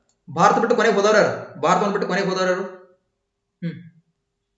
ವಾಸ್ಯ, ವಾಸ್ಕ್ಯ. ಹಾ. ಕೊನೆಗೆ ಭಾರತ ಬಿಟ್ಟು ಕೊನೆಗೆ ಹೋದವ್ರು ಯಾರು? ಹ್ಮ್. ಭಾರತ ಬಿಟ್ಟು ಕೊನೆಗೆ ಭಾರತ ಬಿಟ್ಟು ಕೊನೆಗೆ ಹೋದವ್ರು ಯಾರು? ಎಸ್ ಪೋರ್ಚುಗೀಸರು ಗೋವಾ, ಕೊನೆಗೆ ಗೋವಾ ಗೋವಾ ಬಿಟ್ಟು ಹೋಗ್ತಿರಲ್ಲ, ಅದು. ಎಸ್ ಅದ್ರ ಬಗ್ಗೆ ಕ್ಲಿಯರ್ ಮಾತಾಡ್ತೀನಿ. ಯುರೋಪಿಯನ್ ಆಗಮನ ತಿಳಿತಾ? ಯಾಕಂದ್ರೆ one of the most important chapter ಅನ್ಸ್ಕೊಂತದ. ಯಾಕಂದ್ರೆ ಪ್ರತಿಯೊಂದು ಹಿಸ್ಟ್ರಿ ನೀವು ತೆಗೆದು ಅಲ್ಲಿ ಯುರೋಪಿಯನ್ ಆಗಮನ ಅಂತ ಹೇಳಿ ಪಾಠ ಇದ್ದ ಅದ. ಓಕೆ ಆಮೇಲೆ ಬ್ರಿಟಿಷ್ ಆಳ್ವಿಕೆ ಹೆಂಗ್ ವಿಸ್ತರಣೆ ಆಯ್ತು? ಈ ವಿಸ್ತರಣೆ ಆಗ್ಬೇಕಾದ್ರೆ ಈ ಪ್ಲಾಸ್ಟಿಕ್ ಕದನ ಬಕ್ಸಾರ್ ಕದನ ಕರ್ನಾಟಕ ಯುದ್ಧ ಸಹಾಯಕ ಸೈನ್ಯ ಪದ್ಧತಿ ದತ್ ಮಕ್ಕಳಿಗೆ ಹಕ್ಕಿಲ ಒಂದು ಪದ್ಧತಿ. ವೆರಿ ವೆರಿ ಇಂಪಾರ್ಟೆಂಟ್ ಪಾಯಿಂಟ್ ಒಂದಾದ್ರೂ ಹಿಸ್ಟ್ರಿ ಕುರಿತಾಗ ಏನಾದ್ರು ಎಕ್ಸಾಮ್ ಒಂದು ಪ್ರಶ್ನೆ ಆದ್ರೂ ಇಲ್ಲಿ ಬಂದ ಬರ್ತದೆ. ಈ ಭಾರತದಲ್ಲಿ ಬ್ರಿಟಿಷ್ ಆಳ್ವಿಕೆ ವಿಸ್ತರಣೆ ಆಗ್ಬೇಕಾದ್ರೆ ಬ್ರಿಟಿಷರ ಅಷ್ಟು ಸ್ಟ್ರಾಂಗ್ ಆಗ್ಬೇಕಾದ್ರೆ ಕಾರಣಗಳೇನು? ಅದು ಕೂಡ ಅದಾವ ಇಲ್ಲೆಲ್ಲ ಈ ಕದನಗಳ ಬಗ್ಗೆ ನಾನು ಕ್ಲಿಯರ್ ಆಗಿ ಮಾತಾಡ್ತಾ ಹೋಗ್ತೀನಿ. ಓಕೆ ಆಮೇಲೆ ಪ್ರಥಮ ಸ್ವಾತಂತ್ರ್ಯ ಸಂಗ್ರಾಮ. ಇಲ್ಲಿ ಬಹಳ ಸಲ ಪ್ರಶ್ನೆ ಬರ್ತಾವು. ಈ ಮೇನ್ಸ್ಗೂ ಪ್ರಶ್ನೆ ಒಂದು ಇದ್ದೇ ಇರ್ತದೆ ನೋಡ್ರಿ. ಆಯ್ತಾ? ಮೇನ್ಸ್ಗೂ ಪ್ರಶ್ನೆ ಇದ್ದೇ ಇರ್ತದೆ. ರಾಜಕೀಯ, ಆಡಳಿತಾತ್ಮಕ, ಆರ್ಥಿಕ ಕಾರಣ, ಸಾಮಾಜಿಕ ಕಾರಣ, ಸೈನಿಕ ಕಾರಣಗಳ ಬಗ್ಗೆ ತತ್ಕ್ಷಣದ ಕಾರಣ, ತತ್ಕ್ಷಣದ ಕಾರಣಗಳು ಅಂತ ಇರ್ತಾವ. ಸ್ವಾತಂತ್ರ್ಯ ಸಂಗ್ರಾಮ ನೋಡೋಣ ಮಂಗಲ್ ಪಾಂಡೆ ಅವ್ರ ಬಗ್ಗೆ ನೋಡ್ತೇವೆ ಅಲ್ಲಿ. ತಿಳಿತಾ? ಎಸ್ ಬಹಳ ಕ್ಲಿಯರ್ ಆಗಿ ನೋಡ್ತಾ ನೋಡ್ತಾ ಹೋಗೋಣ. ಆಮೇಲೆ ಸ್ವಾತಂತ್ರ್ಯ ಹೋರಾಟ, ನಮ್ಮ ರಾಷ್ಟ್ರತೆ ಹೆಂಗೆ ನ್ಯಾಷನಲಿಸಂ ರೈಸ್ ಆಫ್ ನ್ಯಾಷನಲಿಸಮ್ ಅಂತ ಕರಿತೀವಿ, ನಮ್ಮ ನ್ಯಾಷನಲಿಸಮ್ ಹೆಂಗೆ ರೈಸ್ ಆಯ್ತು? ಆಮೇಲೆ ಯಾವುದು? ಪಾಶ್ಚಿಮಾತ್ಯ ಶಿಕ್ಷಣ ಫಾರಿನ್ ಎಜುಕೇಶನ್ ತಿಳಿತಾ? ಯಾವ ರೀತಿ ನಮ್ಮಲ್ಲಿ ಬೆಳೀತಾ ಬಂತು? ಕೆಲವೊಬ್ರು ಹೇಳ್ರು, ಭಾರತೀಯರನ್ನು ಒಡಿಬೇಕಾದ್ರೆ ಇಲ್ಲಿರ್ತಕ್ಕಂಥ ಮೊದಲು ಶಿಕ್ಷಣವನ್ನ ಏನ್ ಮಾಡ್ಬೇಕು ಚೇಂಜ್ ಮಾಡ್ಬೇಕು ಅಂತ ಹೇಳಿ. ತಿಳಿತಾ? ಯಾಕಂದ್ರ ನಮ್ಮ ಶಿಕ್ಷಣ ಮೊದಲು ಹೆಂಗಿತ್ತು ಅಂದ್ರ ಗಟ್ಟಿತನವನ್ನು ಕಲಿಸ್ತಕ್ಕಂಥ ಶಿಕ್ಷಣ ಇತ್ತು. ಬಟ್ ಏನ್ ಅಂದ್ರ ನಮ್ಮ ಶಿಕ್ಷಣದ ಮೇಲೆ ಹೊಡೆದ್ಬಿಟ್ಟು ಭಾರತದಲ್ಲಿ ಗುಲಾಮಿಗಿರಿಯನ್ನು ನಾವು ಹೆಚ್ಚಿಗೆ ಸ್ಥಾಪಿಸಬೇಕಾದ್ರೆ ಇಲ್ಲಿರ್ತಕ್ಕಂಥ ಶಿಕ್ಷಣವನ್ನು ಹಾಳು ಮಾಡ್ಬೇಕಂದ್ರು ಹಂಗ ಮಾಡ್ಬಿಟ್ಟು ತಿಳಿದ ಏನ ಭಾರತೀಯ ರಾಷ್ಟ್ರೀಯ ಕಾಂಗ್ರೆಸ್ ರೈಸ್ ಆಗ್ತಾ ಏಟೀನ್ ಏಟಿ ಫೈವ್ ರೈಸ್ ಆಗಿರ್ತಕ್ಕಂಥದ್ದು, ಅಲ್ಲಿ ರೈಸ್ ಆದ್ಮೇಲೆ ಕೆಲವೊಂದು ಏನ್ ಬರ್ತಾವು? ಯುಗಗಳು ಬರ್ತಾವು. ಆ ಯುಗಗಳು ಯಾವುವು ತಿಳಿತಾ? ಅಯ್ಯೋ ಹಾ ಮೆಕಾಲೆ ಮೆಕಾಲೆ ಕಮಿಷನ್ ಬರ್ತದೆ, ಅವೆಲ್ಲ ನೋಡೋಣ. ಆಮೇಲೆ ಇಲ್ಲಿಂದ ಸ್ಟಾರ್ಟ್ ಆಗ್ತದೆ ನೋಡ್ರಿ. ಯಾವುದು? ರಾಷ್ಟ್ರೀಯ, ಭಾರತೀಯ ರಾಷ್ಟ್ರೀಯ ಕಾಂಗ್ರೆಸ್. ಅಲ್ಲಿಂದ ಶುರು ಆಗ್ತದೆ ಏನು? Eighty eighty five nineteen zero five ತಗ ಮಂದಗಾಮಿಗಳಿಗೆ ಅಂತ ಬರ್ತದ. ಮಂದಗಾಮಿಗಳಿಗೆ ಅದರಲ್ಲಿ ದಾದಾಬಾಯಿ ನವರೋಜಿ ಅವರು ಬರ್ತಾರ, ಸುರೇಂದ್ರನಾಥ್ ಬ್ಯಾನರ್ಜಿ ಬರ್ತಾರ, ಗೋಪಾಲಕೃಷ್ಣ ಗೋಖಲೆ ಬರ್ತಾರ, ಮಹದೇವ್ ಗೋವಿಂದ್ರ ನಡೆ ಯಾರ್ಯಾರ ಮಂದಗಾಮಿಗಳು, ಯಾರ್ಯಾರು ತೀವ್ರಗಾಮಿಗಳು, ಯಾರ್ಯಾರು ಕ್ರಾಂತಿಕಾರಿಗಳು ಉತ್ತರಬೇಕು. ಆಪ್ಷನ್ ಕೊಡ್ತಾನ. ಆಪ್ಷನ್ ಕೊಟ್ಟ ಯಾರ್ಯಾರು ಮಂದಗಾಮಿ, ಯಾರು ಯಾರು ತೀವ್ರಗಾಮಿ. ನಾಲ್ಕು ಆಪ್ಷನ್ ಮಂದಗಾಮಿ ಕೊಟ್ಟು ಸಾರಿ ಮೂರು ಆಪ್ಷನ್ ಮಂದಗಾಮಿ ಕೊಟ್ಟು ಒಬ್ಬ ತೀವ್ರಗಾಮಿನ ತೀವ್ರಗಾಮಿ ಇಟ್ಟಿರ್ತಾರೆ ಈ ಕೆಳಗಿನಲ್ಲಿ ಯಾರು ತೀವ್ರಗಾಮಿ ಆಗಿದ್ದಾರೆ ಅಂತ ಪ್ರಶ್ನೆ ಸಿಲ್ಲಿ ಪ್ರಶ್ನೆ ಕೇಳ್ತಿರ್ತಾನ. ಗೊತ್ತಿರ್ಬೇಕು. ತಿಳ್ತಾ? Eighteen eighty five A Hume National Congress ತಿಳ್ತಾ? ಸ್ಥಾಪನೆ ಮಾಡ್ತಾರ. ಆಮೇಲೆ ಇವರು ಮಂದಗಾಮಿಗಳ ಯುಗ ಅಂತ ಬಂತು ಇನ್ನು ಹತ್ತೊಂಬತ್ ನೂರ ಐದರಿಂದ ಹತ್ತೊಂಬತ್ತರ ಹತ್ತೊಂಬತ್ತರ ತನಕ ಯಾವ್ದು ಬರ್ತದೆ? ತೀವ್ರಗಾಮಿಗಳ ಯುಗ ಅಂತ ಬರ್ತದೆ. ಲಾಲ್ ಬಾಲ್ ಪಾಲ್ ಬರ್ತಾರೆ ಲಾಲಾ ಲಜಪತ್ ರಾಯ್, ಬಾಲ ಗಂಗಾಧರ್ ತಿಲಕ್, ಬಿಪಿನ್ ಚಂದ್ರ ಪಾಲ್. ಇವ್ರ ಬಗ್ಗೆ ನೋಡೋಣ ತೀವ್ರಗಾಮಿಗಳ ಬಗ್ಗೆ ತಿಳ್ತಾ. ಲಾಲ್ ಬಾಲ್ ಪಾಲ್ ಅಂತ ಹೇಳಿ ಯಾರನ್ನ ಕರೀತಾರ ಅಂತ ಹೇಳಿ ಕೇಳ್ತಾನೆ ಪ್ರಶ್ನೆಗಳು ಹಿಂಗೂ ಬರ್ತಾವ? ಹತ್ತೊಂಬತ್ತು ನೂರ ಐದರಿಂದ ಹತ್ತೊಂಬತ್ ನೂರ ಹತ್ತೊಂಬತ್ತು. ಲಾಲ್ ಬಾಲ್ ಪಾಲ್. ಈ ನೆಕ್ಸ್ಟ್ ಓದ್ತದ ಹತ್ತೊಂಬತ್ ನೂರ ಹತ್ತೊಂಬತ್ತು ಹಿಡ್ಕೊಂಡ ಹತ್ತೊಂಬತ್ ನೂರ ನಲವತ್ತೇಳು ತನಕ ಯಾರು ಬರ್ತಾರಪ್ಪ ಅಂತಂದ್ರ ಯಾವ್ದು ಬರ್ತದ? ಗಾಂಧಿಯುಗ ಅಂತ ಬರ್ತದ ಗೊತ್ತದ? ಇವರ ತೀವ್ರಗಾಮಿಗಳಾದ್ಮೇಲೆ ನೆಕ್ಸ್ಟ್ ಯಾರು ಬರ್ತಾರೆ ಅಂದ್ರೆ ಕ್ರಾಂತಿಕಾರಿಗಳು ಬರ್ತಾರೆ. ಕ್ರಾಂತಿಕಾರಿಗಳು ಇವರ ಇಲ್ಲಿವರೆಗೆ ಎಲ್ಲರಿಗೂ ಏನಪ್ಪಾ ಅಂದ್ರೆ ಒಂದು ಇನ್ಸ್ಪಿರೇಷನ್ ಎಲ್ಲರಿಗೂ ಈ ಕ್ರಾಂತಿಕಾರಿಗಳು ಇನ್ಸ್ಪಿರೇಷನ್ ಯಾರ್ಯಾರು ಅಂತಂದ್ರ ಖುದಿರಾಮ್ ಬೋಸ್ ಅವರಾಗಿರ್ಬೋದು. ಮೊಟ್ಟ ಮೊದಲ ಬಾರಿಗೆ ನೀನು ಹೇಳಿರ್ಬೋದು ಆಮೇಲೆ ವಿನಾಯಕ ದಾಮೋದರ್ ಸಾವರ್ಕರ್ ವಿ ಸಾವರ್ಕರ್ ಆಗಿರ್ಬೋದು, ಭಗತ್ ಸಿಂಗ್ ಆಗಿರ್ಬೋದು, ಆಜಾದ್ ಆಗಿರ್ಬೋದು ರಾಜಗುರು ಸುಖದೇ ಕ್ರಾಂತಿಕಾರಿಗಳೆಲ್ಲ ಬಹಳ ಬರ್ತಾರ. ಇವರು ಬಹಳ ಇನ್ಸ್ಪೈರಿಂಗ್ ಸ್ಟೋರಿ ಅದ. ಇವ್ರ ಬಗ್ಗೆ ನಾವು ಮಾತಾಡೋಣ ಕ್ಲಾಸ್ ಒಳಗ. ಕ್ಲಿಯರ್ ಆಗಿ ಮಾತಾಡ್ತಾ ಹೋಗ್ತೀನಿ. ಆಮೇಲೆ ಕ್ರಾಂತಿಕಾರಿ ಆದ್ಮೇಲೆ ಇನ್ನು ನೆಕ್ಸ್ಟ್ ಬರತಕ್ಕಂಥದ್ದು ಗಾಂಧಿಗ? ಹತ್ತೊಂಬತ್ತು ಹತ್ತೊಂಬತ್ತರಿಂದ. ತಿಳಿತಾ? ಇಲ್ಲಿಂದ ಹತ್ತೊಂಬತ್ನೂರಿಂದನೂ ಇವರು ಬರ್ತಾರೆ. ಯಾರು? ಈ ಕ್ರಾಂತಿಕಾರಿ ಕೂಡ ಆಕ್ಚುಲಿ ಎಲ್ಲೇ ಕವರ್ ಆಗ್ತಾರ ಅದನ್ನು ಕೂಡ ಹೇಳ್ತೀನಿ. ತಿಳಿತಾ? ಹತ್ತೊಂಬತ್ತು ಹತ್ತೊಂಬತ್ತರಿಂದ ಹತ್ತೊಂಬತ್ತು ನೂರ ನಲವತ್ತೆರಡರೊಳಗೆ ಗಾಂಧಿ ಯುಗ. ತಿಳಿತಾ? ನೋಡ್ರಿ, ಅಮೇರಿಕ ಕ್ರಾಂತಿ. ಗೊತ್ತಿರ್ಬೋದು ನೀವು ಮೊಟ್ಟ ಮೊದಲನೇ ಬಾರಿಗೆ ಇಡೀ ಜಗತ್ತೊಳಗೆ. ಸ್ವತಂತ್ರರು ಹೇಳಿ ಕೂಸ್ಕೊಂಡವರು ಅಮೆರಿಕದವರು. ತಿಳಿತಾ? ಆಮೇಲೆ ಫ್ರಾನ್ಸ್ ಕ್ರಾಂತಿ ಅಂತ ಬರ್ತದೆ. ಫ್ರಾನ್ಸ್ ಕ್ರಾಂತಿ. ರಷ್ಯಾ ಕ್ರಾಂತಿ. ಇವೆಲ್ಲ ಹೇಗಾದ್ರು? ರಕ್ತಪಾತದಿಂದ ಆಗಿರ್ತಕ್ಕಂಥ ಇವೆಲ್ಲ ಅಮೆರಿಕ ಕ್ರಾಂತಿ ಆಗಿರ್ಬೋದು ಫ್ರಾನ್ಸ್ ಕ್ರಾಂತಿ ಆಗಿರ್ಬೋದು ರಷ್ಯಾ ಕ್ರಾಂತಿ ಆಗಿರ್ಬೋದು ಇವೆಲ್ಲ ರಕ್ತಪಾತದಿಂದ ಆಗಿರುತ್ತೆ ರಕ್ತಪಾತದಿಂದನೇ ಆಗಿರ್ತಕ್ಕಂಥದ್ದು.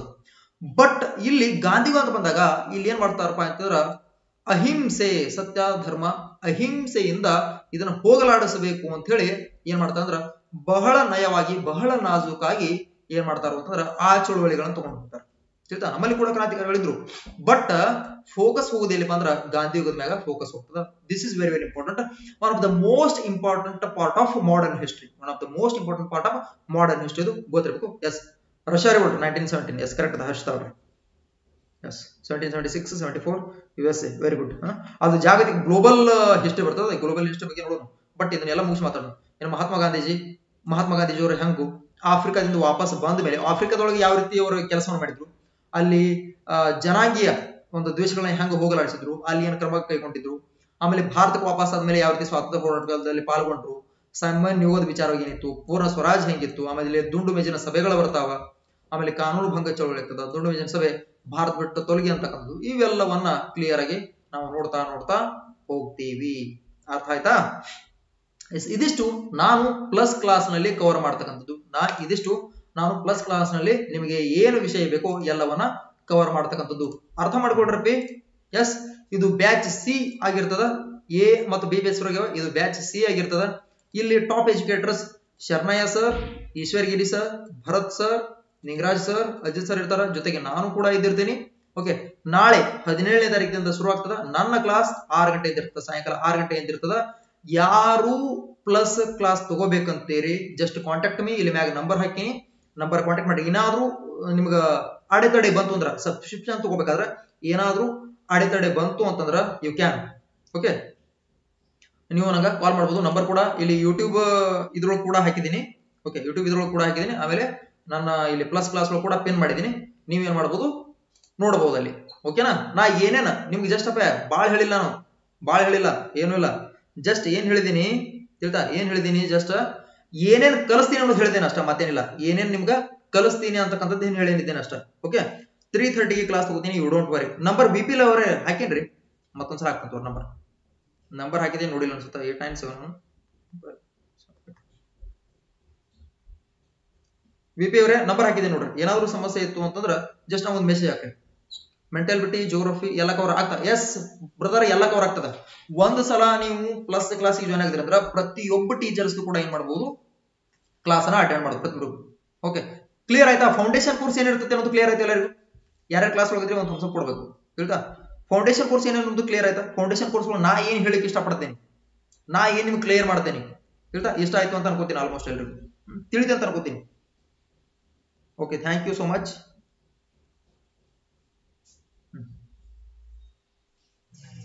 okay guys ಇವತ್ತಿನ ಒಂದು ಕ್ಲಾಸನ್ನ ಇಲ್ಲಿಗೆ ಇದು ಮಾಡಿ ನಾ ಎಷ್ಟು ಅಪಿ ಮ್ಯಾಕ್ಸಿಮಮ್ ಟ್ರೈ ಮಾಡಿದ್ದೀನಿ. ಮ್ಯಾಕ್ಸಿಮಮ್ ನೀವು ಏನೇನು ಹೇಳಬೇಕು ಮ್ಯಾಕ್ಸಿಮಮ್ ಟ್ರೈ ಮಾಡಿದ್ದೀನಿ ನಾನು. Okay yes thank you so much guys ಇದು ನಿಮ್ಗೆ ಇಷ್ಟ ಆಯ್ತು ಅನ್ಕೋತೀನಿ. ಯಾರಿಗಾದ್ರೂ ಇದನ್ನಿದ್ರೆ ನೀವು ನನ್ನನ್ನ ಕಾಂಟ್ಯಾಕ್ಟ್ ಮಾಡ್ಬೋದು. ಯಾವ ರೀತಿ ಸಬ್ಸ್ಕ್ರಿಪ್ಷನ್ ತಗೋಬೇಕು ಅನ್ನೋದು ನಾನು ನಿಮಗೆ ಹೇಳ್ಕೊಡ್ತೀನಿ. Okay guys thank you so much ನಂದು ಕ್ಲಾಸ್ ಮತ್ತೆ ಮೂರು ಮೂವತ್ತಕ್ಕೆ ಇರ್ತದೆ. ತ್ರೀ ಥರ್ಟಿಗೆ ಕ್ಲಾಸ್ ನಂದು ಇರುತ್ತೆ. ಓಕೆನಾ ತ್ರೀ ಥರ್ಟಿಗೆ ಕ್ಲಾಸ್ ಇರ್ತದ. ಡೋಂಟ್ ವರಿ ತ್ರೀ ಥರ್ಟಿಗೆ ಸೈನ್ಸ್ ಅಂಡ್ ಟೆಕ್ನಾಲಜಿ ಮೂರು ಮೂವತ್ತಕ್ಕೆ ಸೈನ್ಸ್ ಅಂಡ್ ಟೆಕ್ನಾಲಜಿ ಮತ್ತೆ ಸಾಯಂಕಾಲ ಎಂಟು ಗಂಟೆಗೆ. ಸಾಯಂಕಾಲ ಎಂಟು ಗಂಟೆಗೆ ಮತ್ತೆ ಇದನ್ನ ಇರ್ತದ ರೀ ಯಾವ್ದಪ್ಪ ಅಂತಂದ್ರ ಕರೆಂಟ್ ಅಫೇರ್ಸ್ ಅಟೆಂಡ್ ಆಗ್ರಿ. ಮಧ್ಯಾಹ್ನ ಮೂರುವರೆಗೂ ಕ್ಲಾಸ್ ಇರ್ತದ. ಆಮೇಲೆ ಸಾಯಂಕಾಲ ಎಷ್ಟು ಗಂಟೆಕಪ್ಪ ಅಂತಂದ್ರ, ಎಷ್ಟು ಗಂಟೆಕಪ್ಪ ಅಂತಂದ್ರ ಎಂಟು ಗಂಟೆ ಕೂಡ ಕ್ಲಾಸ್ ಇರ್ತದೆ. ಓಕೆ ಮೂರುವರೆಗೆ ಕೂಡ ಅಟೆಂಡ್ ಆಗ್ರಿ. ರಾತ್ರಿ ಎಂಟು ಗಂಟೆ ಕೂಡ ಅಟೆಂಡ್ ಆಗ್ರಿ ಕರೆಂಟ್ ಅಫೇರ್ಸ್ ಕ್ಲಾಸ್ ಮೂರುವರೆಗೆ ಸೈನ್ಸ್ ಅಂಡ್ ಟೆಕ್ನಾಲಜಿ ಆಮೇಲೆ ಎಂಟು ಗಂಟೆಗೆ ಯಾವುದು? ಕರೆಂಟ್ ಅಫೇರ್ಸ್ ಓಕೆ ಮುಂಜಾನೆ ಕ್ಲಾಸ್ ಕೆಲವೊಬ್ರು ಅಟೆಂಡ್ ಇರಲಿಲ್ಲ. ಅಟೆಂಡ್ ಆಗ್ರಿ. ಓಕೆ ಬಾಯ್ ಮತ್ತೆ ಸಿಗೋಣ.